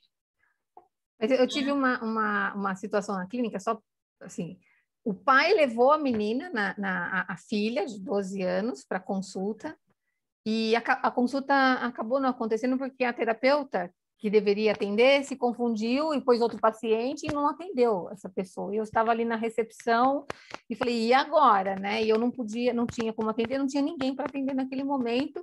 E aí o pai já, come, já pegou o celular, já começou a escrever em contato com a mãe, né? Aí, a- aí ele ligou para a mãe, aí começou a discussão daquela situação, eu tentando contornar, eu oferecendo, olha, não, mas eu posso atender amanhã, eu tenho um horário amanhã. E aí a mãe muito brava do outro lado da linha com o pai, pois ela desligou dele, ligou na recepção para poder falar e muito brava. Então, assim, a situação toda, quer dizer, o pai estava ali, mas ele não pôde resolver a situação comigo. Eu estava dizendo para ele, eu tenho um outro horário, eu posso atendê-la, desculpa, vamos resolver, né? E não, não foi possível. Né? Assim, essa, essa, a- a- isso passou pela mãe. Bom, o, o E, resu- e certamente isso diz muito sobre o caso, sobre a relação desses pais, sobre a relação desses Sim. pais com a criança. É, de Tá, novo, tá, é tá. isso, é isso que se passa na transferência com a gente, nessas situações que a gente fica meio desarmado sem saber o que fazer, diz muita coisa sobre o caso e precisa ser manejado né, com cada um deles. A situação em que ou o pai ou a mãe é, traz a criança e diz para a gente não nem entrar em contato com o outro, né? Em geral, as mães, é, muito frequentemente, isso é uma coisa também para a gente prestar atenção como analistas. Muito frequentemente a mãe vem sozinha numa primeira entrevista, a gente faz a primeira entrevista e já marca com a criança. Então, é uma coisa para a gente prestar atenção. Que a mãe não tenha considerado a importância do pai vir, não quer dizer que a gente não vá considerar. A gente pergunta, né? E acho que isso precisa estar marcado desde o início. Aliás, eu costumo marcar isso desde que alguém liga ou manda um WhatsApp para marcar uma consulta. Olha, eu queria que você atendesse meu filho, como é que a gente faz? Imediatamente eu digo, eu costumo conversar primeiro com os pais e pergunto, como é isso para você? Porque com os pais pode ser duas mães, pode ser dois pais, às vezes quem está lá do outro lado responde, é, mas é que eu sou a madrasta, você precisa conversar com os pais? Não, se você que está me procurando, podemos conversar primeiro nós duas. E aí você me conta o que está acontecendo, e a partir dessa primeira demanda, a gente vai manejando para poder ouvir quem a gente acha que a gente precisa ouvir. Mas eu acho que lembrar cada um que nos procura de que a gente conversa com os pais é importante para que a gente não deixe isso de lado, né? Quem é pai, quem é mãe sabe que quando você tem um filho, não parece uma coisa muito interessante que esse filho seja atendido por uma psicanalista escolhida por, pelo outro lado sem que você saiba. Entendem? Olha o que isso pode produzir num caso. Por outro lado, não é incomum a mãe dizer: ah, pai não está interessado, pai não vem. Né? Um caso que eu supervisionei semana passada. A mãe chega dizendo que, olha que interessante, que eles já tinham procurado uma outra, ela já tinha procurado uma outra psicóloga, e que quando a outra psicóloga chamou o pai do, de quem essa mãe é separada, deu tudo errado e se interrompeu o tratamento. Não é uma notícia, né, que fez com que a analista fizesse o quê? Chamasse a criança sem chamar o pai. Vocês veem como a gente tende a ficar capturado no discurso desses pais uhum. e a gente esquece de manejar isso. O que é manejar? É mesmo? Mas como assim? mas deu tudo errado porque ela chamou o pai, me conta melhor isso, deixa eu entender melhor. E deixa eu entender melhor, não é entender o que aconteceu com o pai, é entender melhor por que, que foi assim que essa mãe entendeu o que aconteceu. Porque esse é entendimento da mãe. Se a gente chamar o pai, talvez o pai vai contar outra história, vai dizer, não, não foi nada disso. Então, por que, que você está entendendo assim? Deixa eu entender. Para chegar na pergunta, o que, que você acha de eu chamar o pai da criança? E que muitas vezes a mãe responde: Eu acho que você não devia chamar. Qual que eu acho que deveria ser a nossa atitude nessa hora? Dizer, é mesmo? Então, vamos marcar mais uma conversa, nós duas, sobre isso? Entendem? Para que a vinda do pai seja um efeito do trabalho. Essa mãe que chega dizendo, eu sou culpada de todos os sintomas do meu filho, por isso que eu estou aqui, é uma mãe que eu é, Trabalhei muito tempo com ela, até que ela me diz: Você não acha que para você atender meu filho, porque ela já estava cogitando de eu atender o filho, você deveria conversar com meu marido antes? E eu disse: Poxa, boa ideia. E aí eu chamo o marido, e ela vem junto com o marido, e a gente faz algumas entrevistas. E aí tem a posição da mãe nessa situação, a posição do pai nessa situação, até chamar a criança, e aí todo o trabalho que tem que ser feito. Ou seja, acho que a gente também tem que ter para nós que a gente não pode prescindir da presença de um pai no trabalho com o filho. Mas não prescindir não quer dizer forçar a mão e dizer, mas eu só vou atender o seu filho se o seu marido vier. Porque às vezes esse é o passo que inviabiliza o trabalho, de início. A gente não sabe o que está acontecendo, a gente não manejou esse contexto, essa resistência, o que está em jogo aí, né? E até porque, senão nós é, vamos contra a questão de, de, trabalhar a relação do pai, do pai fazer a, interfe, a intervenção em casa, né, assim, com a, na relação, no triângulo, né? Sim. Pensando na relação da mãe do, do filho, e da, da importância da intervenção do pai. Claro. E se na sessão nós já tiramos ele também, então ele não vai ele não vai fazer esse cumprir o papel, né? Assim que que seria saudável ali para a relação, né? Para essa é, essa noção do que é saudável e do que deveria é. acontecer é sempre perigosa, né, Rosa? Porque, de novo, a gente pode escorregar para uma concepção nossa de como uma família tem que ser. Não, não eu, eu entendo, assim, é, mas assim, mas se eu contribuo também para afastar. Isso. Na é verdade, é a nossa sentido. tendência não é contribuir para afastar, a nossa tendência, se a gente não parar para pensar nisso tudo que a gente está conversando hoje, a nossa tendência é manter aquilo que é sintomático sintomático. É. Então, um pai que está distante do filho, que aparece muito de vez em quando, e a mãe se queixa disso, a nossa tendência é ou manter isso desse jeito mesmo, ou, aí é ainda mais arriscado, querer já resolver o sintoma operando diretamente sobre ele, dizendo: bom, então a primeira coisa que eu vou fazer é chamar esse pai aqui, eu não vou atender o seu filho se esse pai não vier. a gente acha que a gente resolve um problema que a gente, né, que a mãe está contando que tem há 10 anos, a gente resolve chamando o pai. E aí, às vezes, a gente chama o pai e isso faz ruído na relação com a mãe. Entendi. Tudo isso é difícil, mas é o que você está dizendo, a gente precisa tomar muito cuidado como é que a gente vai manejar. É um cuidado que é um cuidado exigido de nós clinicamente sempre. Né? Fala, Tiziana. A Gisele não está antes de mim? A Gisele, Gisele, você está de novo com a mãozinha levantada? Eu achei que você esqueceu de baixar a mãozinha. Você tem outra oi, pergunta? Oi, Michelle, tenho. Não, ah, eu tenho. Desculpa, não, não se preocupar, não, não se fica, preocupe. Fica. Tá super interessante, né, as perguntas aí, e, e a gente está aprendendo muito. É, voltando um pouquinho na situação da culpa, da situação pelos pais, é, será que não cabe a gente, como analista, até pensar que isso foi taxativo é, assim, é, eu não tenho tanta experiência de atendimento com crianças. Eu comecei mais agora na, na clínica.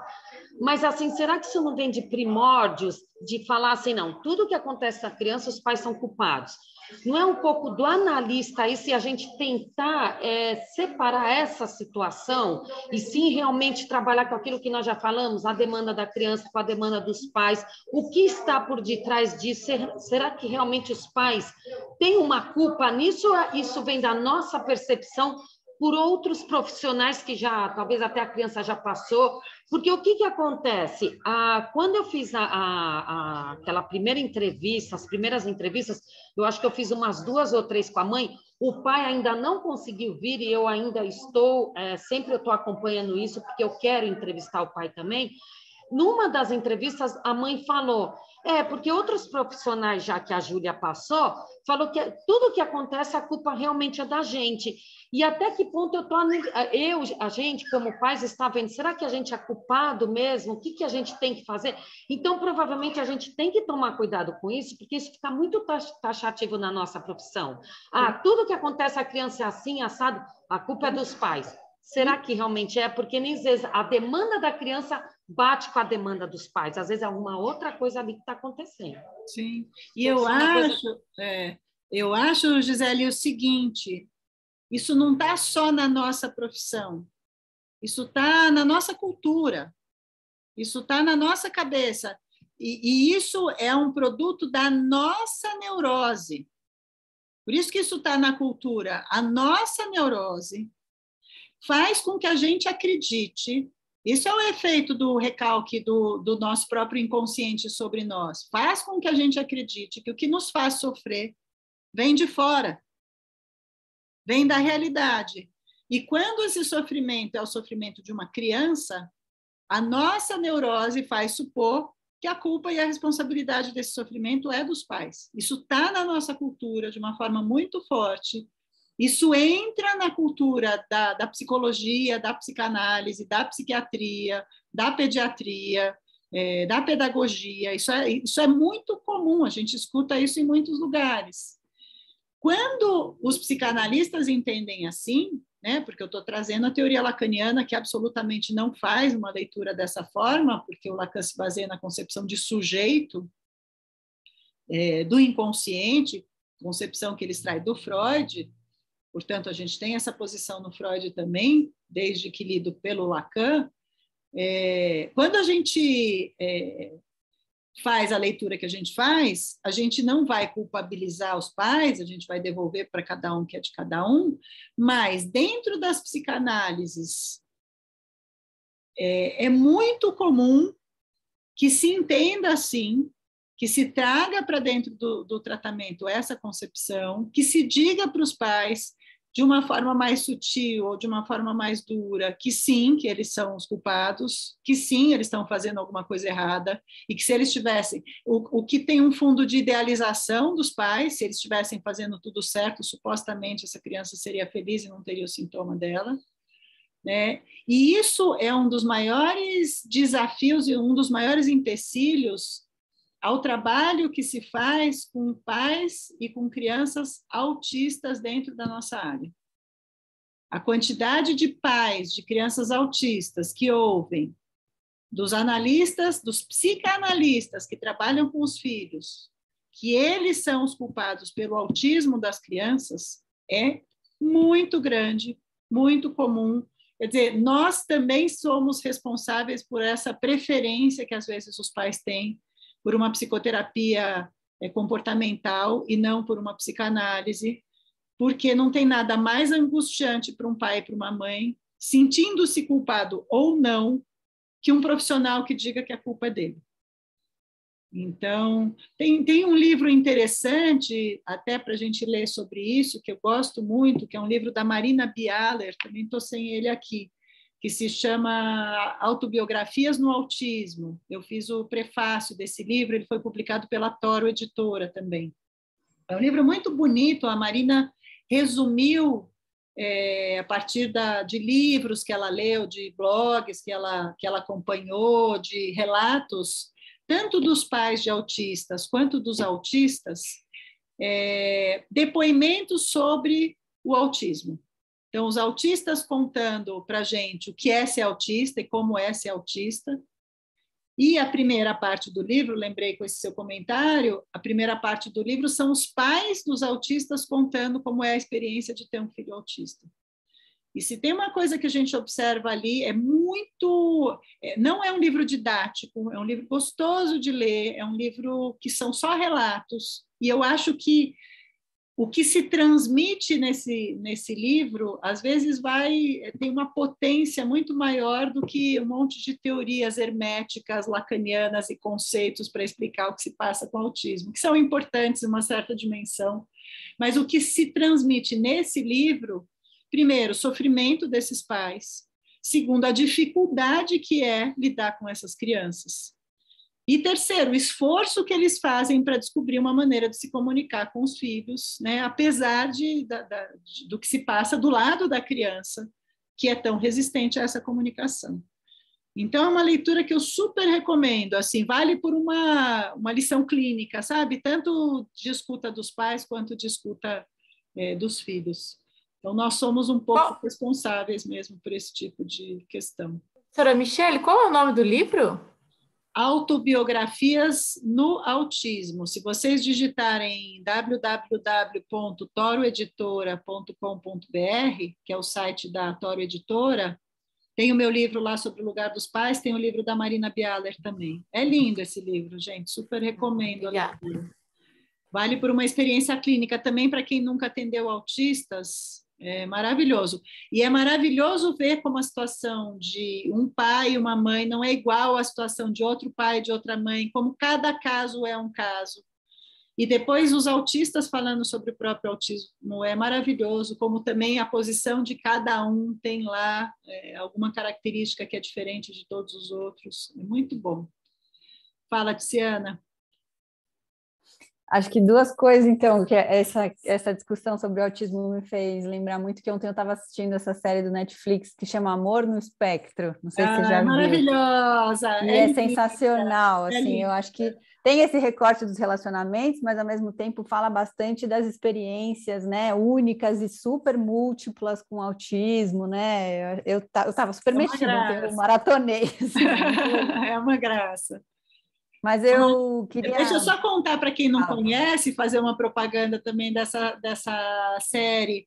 São autistas jovens, autistas que se autodenominam autistas, né, por razões variadas, porque vocês vão vendo que cada um tem um jeito de funcionar ali, é, e que estão em busca do amor. Então, a série entrevista esses autistas é, e conversa com eles para entender como é que eles entendem as relações amorosas, como é que eles se relacionam. Tem uma psicóloga que está na série que faz uma mediação dessas, desses encontros e que eu tenho a impressão ali que é uma psicóloga comportamental muito sensível às questões que estão em jogo ali, em pauta, e ela vai fazendo intervenções que são muito interessantes. Vale a pena assistir, é uma série documental, então ela vale a pena maratonar, né? Se você começa a uhum. assistir uhum. um, você vai indo na série. Mas você é, ia fazer uma questão, Tice.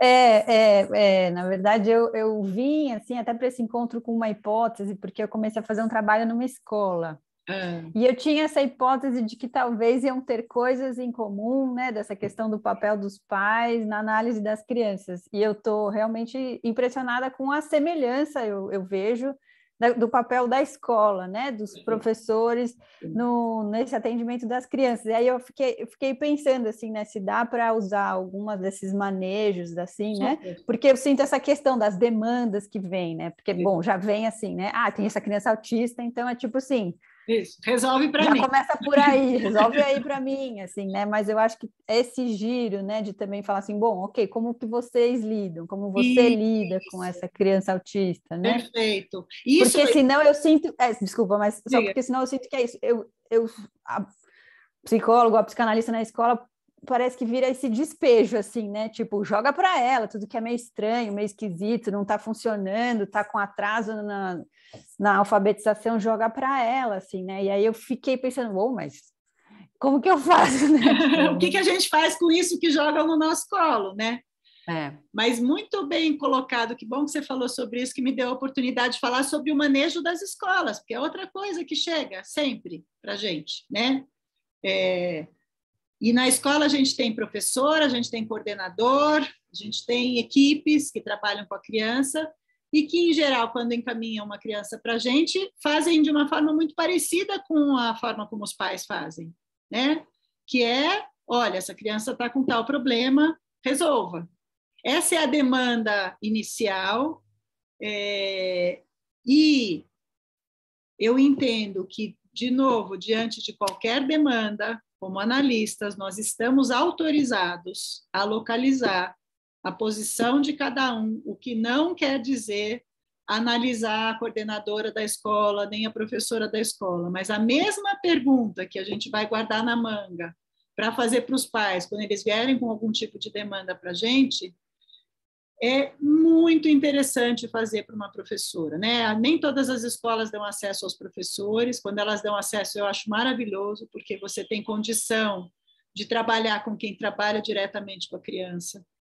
Tem uma coisa que a gente tem que pensar, trabalhando com educadores, eu tenho visto isso ao longo dos anos. Os educadores se angustiam demais por não ter formação e por não saber como lidar com essas crianças, né? A inclusão escolar é uma conquista de poucas décadas, mas é uma conquista maravilhosa. É uma conquista que, infelizmente, a gente às vezes corre o risco de caminhar para trás nessa conquista, mas por enquanto estamos aí com os benefícios dessa conquista, porque ela trouxe essas crianças para dentro da sala de aula, ela trouxe essas crianças para conviverem com outras crianças, ela deu a essas crianças a oportunidade de aprenderem, ela, eu sou de uma época que quando eu comecei a clínica, essas crianças ficavam em casa ou nas instituições que eram depósitos de crianças que não tinham condição de aprender. Dizer, isso mudou e ainda bem que isso mudou e que essas crianças estão em sala de aula, mas a consequência disso foi que isso angustiou demais os educadores, que em geral não recebem informação para lidar com essas crianças e por não receber informação, não têm essa habilidade em sala de aula, e, em geral, o que eles fazem é encaminhar para um profissional que justamente tem formação para fazer isso, que somos nós. A gente tem hoje uma figura interessantíssima é, em algumas escolas, né, em algumas, dependendo dos lugares, a gente tem a figura do AT, então, não só o psicanalista que trabalha com a criança nos seus consultórios ou nas instituições, mas também os ATs, que muitas vezes trabalham com as crianças dentro das escolas, propondo intervenções dentro das escolas, mas é, sentar com o professor para conversar sobre uma criança é a mesma coisa, é sentar diante de uma demanda de faça alguma coisa, cujo fundo é porque eu estou muito angustiada, eu tenho uma sala de 30 alunos para cuidar, e este único aluno me impede de cuidar dos outros 29, porque eu fico tão angustiada, ele morde as outras crianças, ele não fala, ele não aprende, eu não sei o que fazer com ele, né? É, e isso costuma gerar muita resistência é, por parte dos professores à própria inclusão, né? Porque a inclusão exige tratar a diferença como diferença. A inclusão não é colocar uma criança dentro da sala de aula e esperar que ela seja igual a todas as outras, que de verdade também não são iguais entre si. E o que a gente faz quando a gente senta com o professor e pergunta como você está lidando com essa criança é de uma potência. É claro que tem variações de professor para professor, né? Professores mais receptivos a essa pergunta, mais implicados no trabalho, mais interessados quando a gente abre esse, esse, esse caminho, são os trabalhos mais bonitos e que rendem as melhores parcerias, inclusive para o nosso trabalho clínico. É, porque você pergunta como você faz, e aí a professora conta, e aí você vai ajudando ela a pensar o que está funcionando e o que não está funcionando porque né, essas professoras têm uma prática que, sem perceber, de vez em quando elas fazem coisas que funcionam, e você pode dizer, olha só, quando você faz assim, funciona, que interessante. Né? E o que não funciona? Nós temos formação para dizer o que não funciona, não funciona porque esta criança não costuma responder bem a este tipo de fala, ela responde melhor a um outro tipo de fala, e a gente precisa conhecer a criança, a gente precisa ter uma hipótese sobre como ela funciona, para poder não discutir diagnóstico com a professora, percebem? De maneira nenhuma eu vou para uma escola discutir diagnóstico. Mesmo quando que me pedem numa escola é diagnóstico. Qual é o diagnóstico? Ah, por que, que você quer o diagnóstico? É, no que, que o diagnóstico vai ajudar? Não, porque a gente está pensando que essa criança é autista, está precisando de um diagnóstico. É mesmo? Por que, que vocês estão pensando que ela é autista? No que, que é aquilo que ela faz, faz vocês pensarem no autismo? Para chegar na pergunta, independente se se trata de um autismo ou não, quando a criança faz isso, o que, que vocês estão fazendo? Porque dizer que ela é autista encaminha a, a coisa num sentido, perguntar como é que vocês estão lidando e ajudar essa escola a pensar como é possível lidar com essa criança, vai encaminhar as coisas num outro sentido completamente diferente. Então, te agradeço a pergunta, Tice, porque é isso, é o mesmo princípio de manejo, você tem razão, é a mesma operação clínica. Fala, Cláudia. Bom dia, Michele. Bom dia a todos. É, bom, eu, eu, achei muito interessante essa derivação do termo de culpa para implicação, né? Porque eu acho que isso dá conta da gente olhando é, que esses pais, enfim, a escola, enfim, o entorno, naturalmente estão implicados na estruturação subjetiva da criança, né? Então, se a gente é, culpabiliza ou fecha a porta, de qualquer forma, é, exclui algo que é intrínseco no processo de estruturação. Então, é, eu acho assim, que a gente fica muito mais impotente se a gente fecha a porta. Claro. Né? claro. Em termos de manejo, em termos de, é, de manejo mesmo. E tem uma coisa, né, Cláudia, que pensar na implicação, acho que é um, um ponto para a gente cuidar com esse termo, que esse termo também é perigoso. Né? As palavras são perigosas, a gente precisa cuidar muito delas e, entender o sentido delas. É, no que você destacou agora, estou totalmente de acordo com você, mas qual é o perigo dessa palavra, implicação? É, é o perigo de uma idealização que o analista faça dessa implicação. A gente tem que se lembrar que essa implicação é produto do nosso trabalho. Porque às vezes a gente idealiza uma implicação, os pais chegam, a gente olha e fala: ah, mas esses pais não estão implicados no trabalho, entende? Qual é o problema? É, eu penso. A ideia é que seja, essa implicação seja fruto da nossa operação clínica e das nossas perguntas e das nossas intervenções. Mesmo é, em casos de adulto, né? Do que, que a gente gosta? De adultos implicados na análise que, que é um adulto implicado na análise? É o ideal de todo analista, é o analisante que chega, que fala, que pensa, que reflete sobre as suas próprias questões. Isso não é uma coisa que costuma vir pronta, né? Mas eu estava pensando na implicação que é intrínseca, no processo Sim. de estruturação mesmo. Sim. Né? Não implicação como uma nota de maior ou menor implicação Isso. ou envolvimento, mas de que na estruturação né, do sujeito o outro, o outro primordial, pequeno outro, grande outro, não tem como isso, isso. ficar difícil.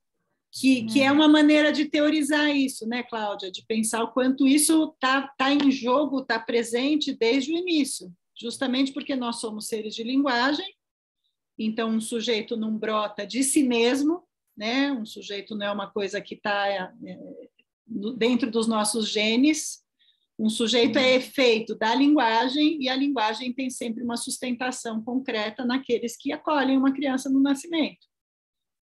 Isso é uma coisa que eu trabalhei no meu livro sobre o lugar dos pais, né? Por isso que tem um capítulo para falar sobre a constituição do sujeito na perspectiva da criança, do, do grande outro, da função paterna e como é que isso se relaciona com o pai, com a mãe porque acho que é isso que você está trazendo, a implicação nesse, nesse sentido das, das inter-relações, né? de quanto uma coisa está relacionada com a outra. Muito bom. Ah, eu vou, eu, depois eu vou entrar em contato com você, porque eu quero ler seu livro já faz horas. depois a gente conversa. Fala, Lidiane. Olá, bom dia. Bom dia. É, eu queria retomar um pouquinho a questão escolar, né, do, digamos, do geral para o específico, mas de uma forma bem sucinta, é, que essa questão escolar, professor, educação, ela é muito viva em mim, né? Venho de uma família aí muito ligada com as questões escolares. Meu início de carreira como psicóloga foi na, na escola, né? E, e aí eu queria uma coisa que você pontuou antes de falar da questão da inclusão, é a questão do diagnóstico, né? O quanto a gente se vê pressionado a dar um diagnóstico para poder uh, que essa criança tenha acesso ao que ela tem direito. É porque, infelizmente, essa questão da inclusão, ela traz uma série de exigências, digamos assim, né? Então, não basta ter um, um relatório, não basta dizer que está em acompanhamento, não basta atestar as dificuldades da criança para que ela seja atendida, digamos assim, para que ela seja cuidada da forma que ela necessita. Né? E muitas vezes a gente se vê nesse, nesse limbo de ter que rotular essa criança para falar, olha, então agora, a partir disso aqui, vê o que você faz né? Então, isso, assim, é muito recorrente, eu diria, é algo muito complexo. É, e aí, uma outra questão sobre a inclusão, o quanto ela vem, e aí, como você disse, ela é muito recente, o quanto ela vem com uma, uma teoria e talvez uma intenção muito coerente, muito correta, mas acho que, como quase tudo na estrutura do nosso país, fica a desejar em termos de prática, né? Porque a gente ela vai funcionar, mas a professora não pode estar sozinha numa turma de 30 alunos com alguém que tem um, uma demanda diferenciada, digamos mas assim. que, em assim. geral, é a nossa realidade brasileira. Exatamente. E acho que é daí que vem toda essa angústia do professor, né? Eu quero cuidar dessa criança, eu quero ensiná-la, mas como que eu ensino ela e os outros 29 com as dificuldades que ela tem? Até porque muitas vezes os próprios pais não dão conta de acompanhar essa criança educacionalmente, né? E aí, partilhando uma experiência com vocês, a, a minha mãe é, é pedagoga, professora, prestes a se aposentar, e os últimos, eu diria que 10 anos da, da docência dela é justamente com criança especial, digamos assim, né? Com crianças com demandas específicas. Então, ela é uma uma professora que está dentro de sala de aula com a professora titular, mas exclusivamente para cuidar de uma criança em específico. E assim, o vínculo, o carinho, o cuidado que essa, é uma criança com deficiência intelectual e assim que tem apresentado vários vários progressos, né? Muito muito bonito de ver o quanto que a inclusão funciona quando a gente dá recursos para que esse processo funcione também. Sim. Né? Mas essa questão do diagnóstico, por exemplo, da rotulação, precisamos Sim. dar um nome para isso que a criança tem, é, é como se fosse o pré-requisito para que ela pudesse ter acesso ao, ao, que é de direito dela, né? Digamos isso, assim. e, e, acho que esse é um nó, né, Lidiane? Te agradeço a pergunta também. Acho que esse, é, esse ponto do diagnóstico é um ponto que sempre pega a gente, especialmente quem trabalha em escola. A demanda por diagnóstico ela é sempre a demanda por um nome que consiga aplacar minha angústia diante do que está acontecendo. É, tem dois trabalhos sobre inclusão que estão no volume 5, que ainda não saiu do, do, do, da minha coleção sobre o que eu organizo do psicanalista, que eu recomendo muito que vocês leiam. Um é da Candice e outro é da Cecília.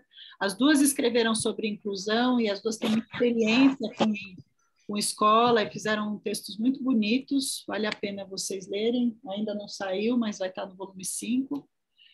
É, o diagnóstico é a forma mais imediata e mais é, comum de se procurar dar um destino para a angústia do eu não sei o que está acontecendo aqui. Eu quero um nome. Quando a gente está doente, nada mais é, tranquilizador do que um diagnóstico né, em tempos de Covid. Até para a gente que é mãe, né? Quando Sim. a gente vai, a gente vai no, no, médico, no pediatra, sei lá o quê, e ele fala, não, pinga um remedinho no nariz, faz isso aqui, mas o que, que ela tem? Isso. É, Ou seja, o nosso pedido é esse: o que, que ele tem, o que, que ela tem, e a gente quer ouvir uma resposta que nos tranquilize. E na área médica, né, quando tem uma resposta, isso é tranquilizador, porque junto com a resposta tem uma forma de tratamento, a gente pinga o remedinho, e as coisas se resolvem. né? É, a inclusão escolar trouxe uma exigência que é que você está trazendo e que é importante, que são os benefícios que essas crianças, a que essas crianças têm direito quando têm um diagnóstico.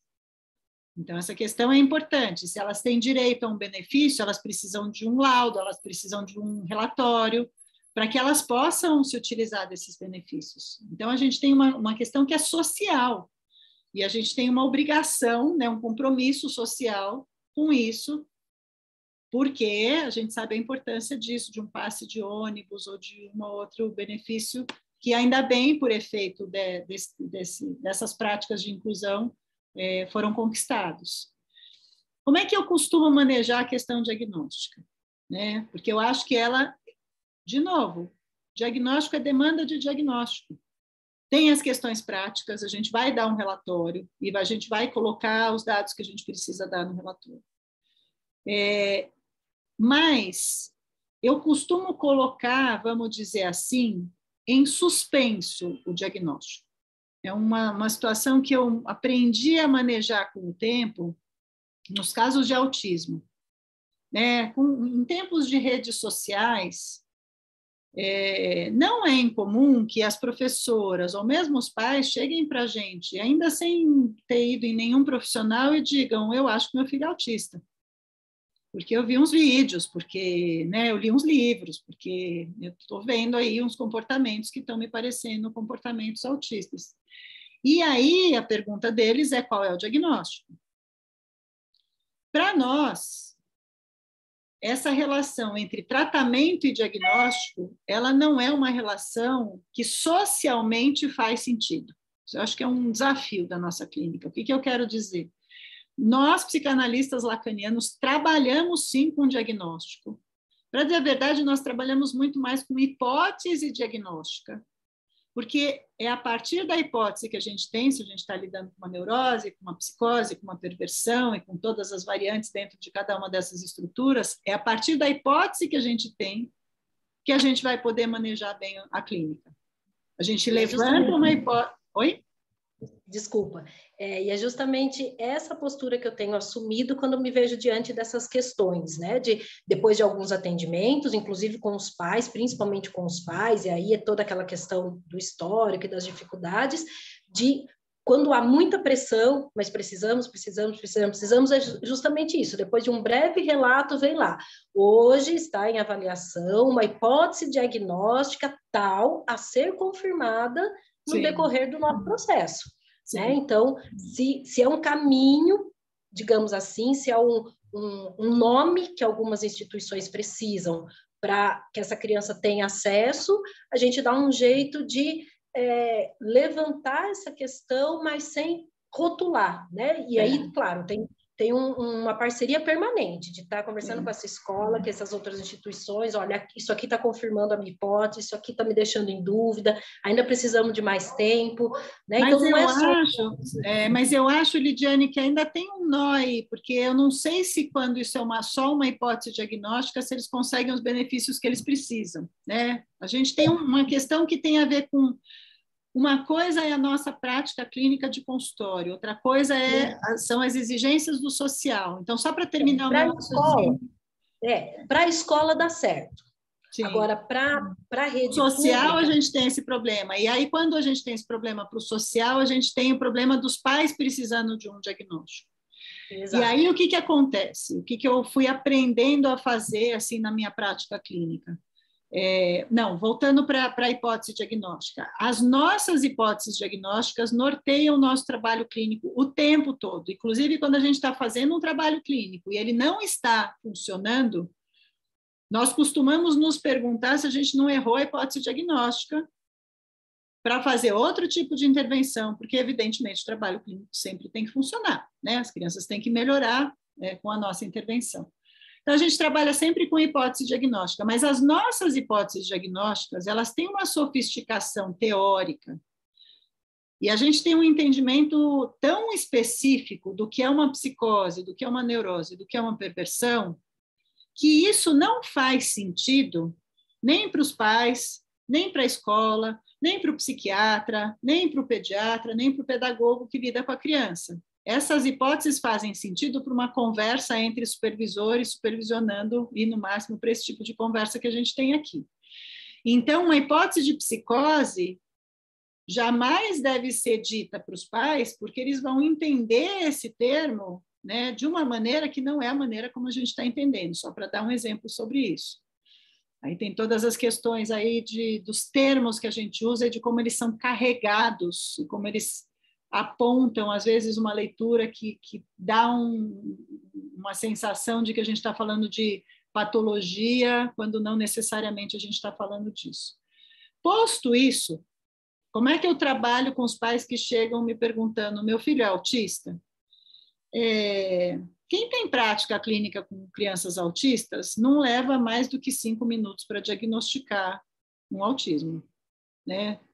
Muito raramente a gente tem dificuldade, a gente bate o olho na criança e, e imediatamente a gente consegue fazer uma hipótese de autismo.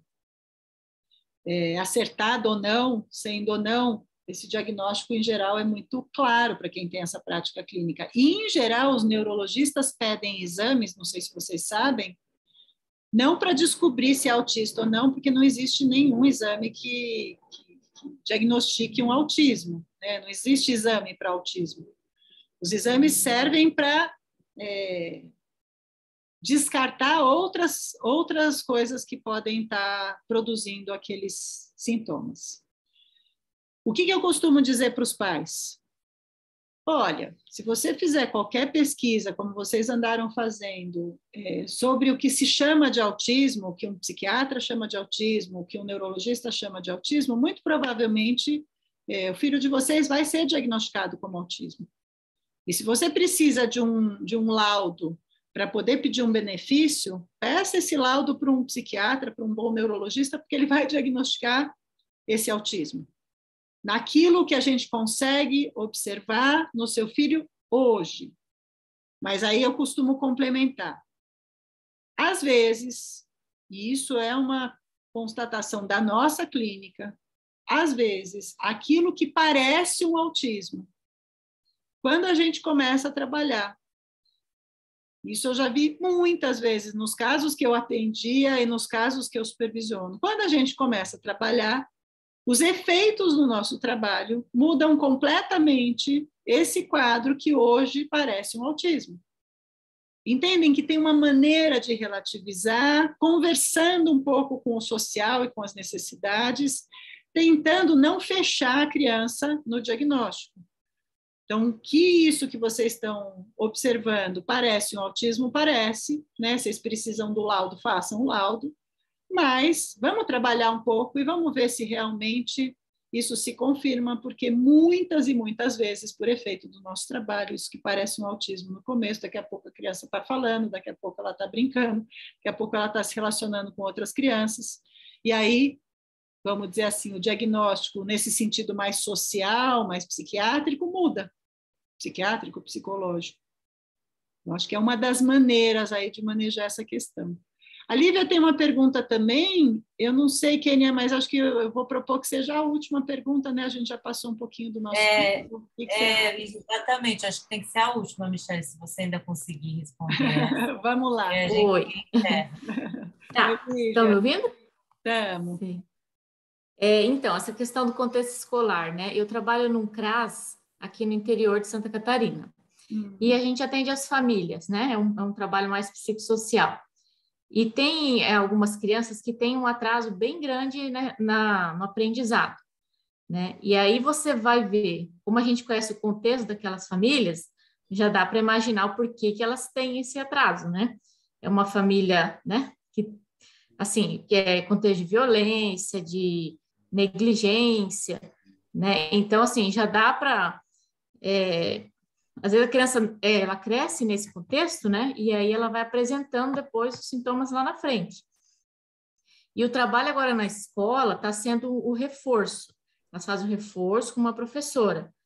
Só que ao mesmo tempo ela, ela vai passando de ano. Então já está na quarta série e não sabe de 1 a 10, não sabe escrever o nome, né? Então, assim, aí agora a minha preocupação é essa, né? Eu vou tentar ver na escola se a gente consegue né? Porque eu fico pensando, será que com tudo isso que a criança passou, é, se ela não tiver uma ajuda especializada, né, fazer uma é, tanto na escola como fora da escola, uma terapia, será que ela vai, vai ser tão difícil para desenvolver é. né, essa parte escolar, né? Sim, boa questão, Lívia. No fim, você, não sei se você percebeu, você faz uma correlação e essas correlações elas são perigosas entre o contexto social e as manifestações que você observa na criança. De novo, é a mesma situação quando a gente fala da estrutura familiar. É evidente que tem uma relação, né? É evidente que as crianças também são produto de um certo contexto social e que, em alguns lugares, esse contexto social é, define né, é, uma, uma condição que não é a mesma para uma criança que vive nas periferias do Brasil e as crianças que vivem né, na classe média, que tem outros recursos aí é, para lidar com a escola. Mas a gente tem que tomar muito cuidado, porque quem trabalha com essas crianças que vêm desse contexto social né, menos favorecido, quem trabalha com essas crianças sabe que tem também muitas diferenças entre essas crianças. Se só o contexto social fosse determinante, a gente teria problemas com todas essas crianças e a gente sabe muito bem que não é assim. Então, só feita esta ressalva, você tem toda a razão, né? É, tem horas que é, contar com a ajuda de um profissional especializado é muito bem-vindo. Então, contar com a ajuda de um de um psicanalista, contar com a ajuda é, de um AT é muito bem-vindo. Né? No mundo ideal. Do pedagogo, né? Do pedagogo, dos bons médicos, pedagogo. do psicopedagogo, dos bons médicos, dos bons professores. Quer dizer, no mundo ideal, a gente deveria ter estes recursos e poder encaminhar essas crianças para que a gente possa fazer boas parcerias para que essa criança consiga desenvolver ao máximo as suas potencialidades. Né? Esse é o mundo ideal, esse é o mundo que a gente gostaria, né? em que todo mundo trabalhando em parceria possa né, ajudar essa criança a, a se desenvolver. É, a gente só tem que tomar um certo cuidado, porque quem trabalha com essa realidade sabe que a gente se frustra bastante de observar que nem sempre é possível aquilo que a gente sabe que pode ajudar. Então, é importante que a gente consiga, sim, buscar parcerias e buscar ajuda sempre que for é, possível, mas também que a gente consiga extrair o melhor possível das condições que a gente tem. Isso quem já trabalhou em instituição, por exemplo, eu me lembro, já trabalhei no começo da minha, da minha vida profissional, eu trabalhei em algumas instituições e o discurso que eu ouvia muito nas instituições era: mas a gente aqui não tem condições. E é um discurso que eu acho que né, é um discurso meio depressivo, deprimido, de quem idealiza condições que, se não estão ali, parece que a gente não pode fazer nada. E eu acho que a nossa luta diária né, de trabalhar com certas, com certas populações, em certas instituições, é fazer o melhor que a gente pode com as condições que a gente tem. E, e, nessas experiências que eu tive, né, com crianças carentes e nesses trabalhei no Juqueri, trabalhei com, em casas abrigo com crianças, trabalhei é, é, no CETREM com moradores de rua. Quer dizer, o que a gente observa quando a gente faz uma coisa que é simples, mas que, que me parece muito potente, que é tentar é, localizar a posição de cada um dentro da, dessa estrutura, isso tem efeitos importantes. É, esperar que as condições sejam diferentes pode ser, em geral, é a condição do deprimido, né? Claro que a gente gostaria que as condições fossem diferentes, a gente tem que lutar por isso, e eu acho que a gente avança lentamente, mas a gente avança, né? Eu tenho 30 anos de clínica e olhando para trás, a sensação que eu tenho que é que com a inclusão escolar muita coisa já aconteceu. Tem muitos bons trabalhos sendo feitos nas escolas particulares, nas escolas públicas, nas instituições, e eu acho que a psicanálise tem contribuído muito para que esses trabalhos sejam realizados. Então, esse você está trazendo um outro lado que a gente ainda não tinha comentado, te agradeço por isso também, Lívia, que é esse lado da, do contexto social, que deve ser considerado, evidentemente. Não só como um limite, mas como é que a gente lida com esse contexto social e maneja ele né, dentro das necessidades, que acho que conversa um pouco com a questão da Lidiane do, dos benefícios, né, quando você tem um diagnóstico, como é que a gente maneja isso como clínicos. Tá bom? Bom, Michele, querendo te agradecer muito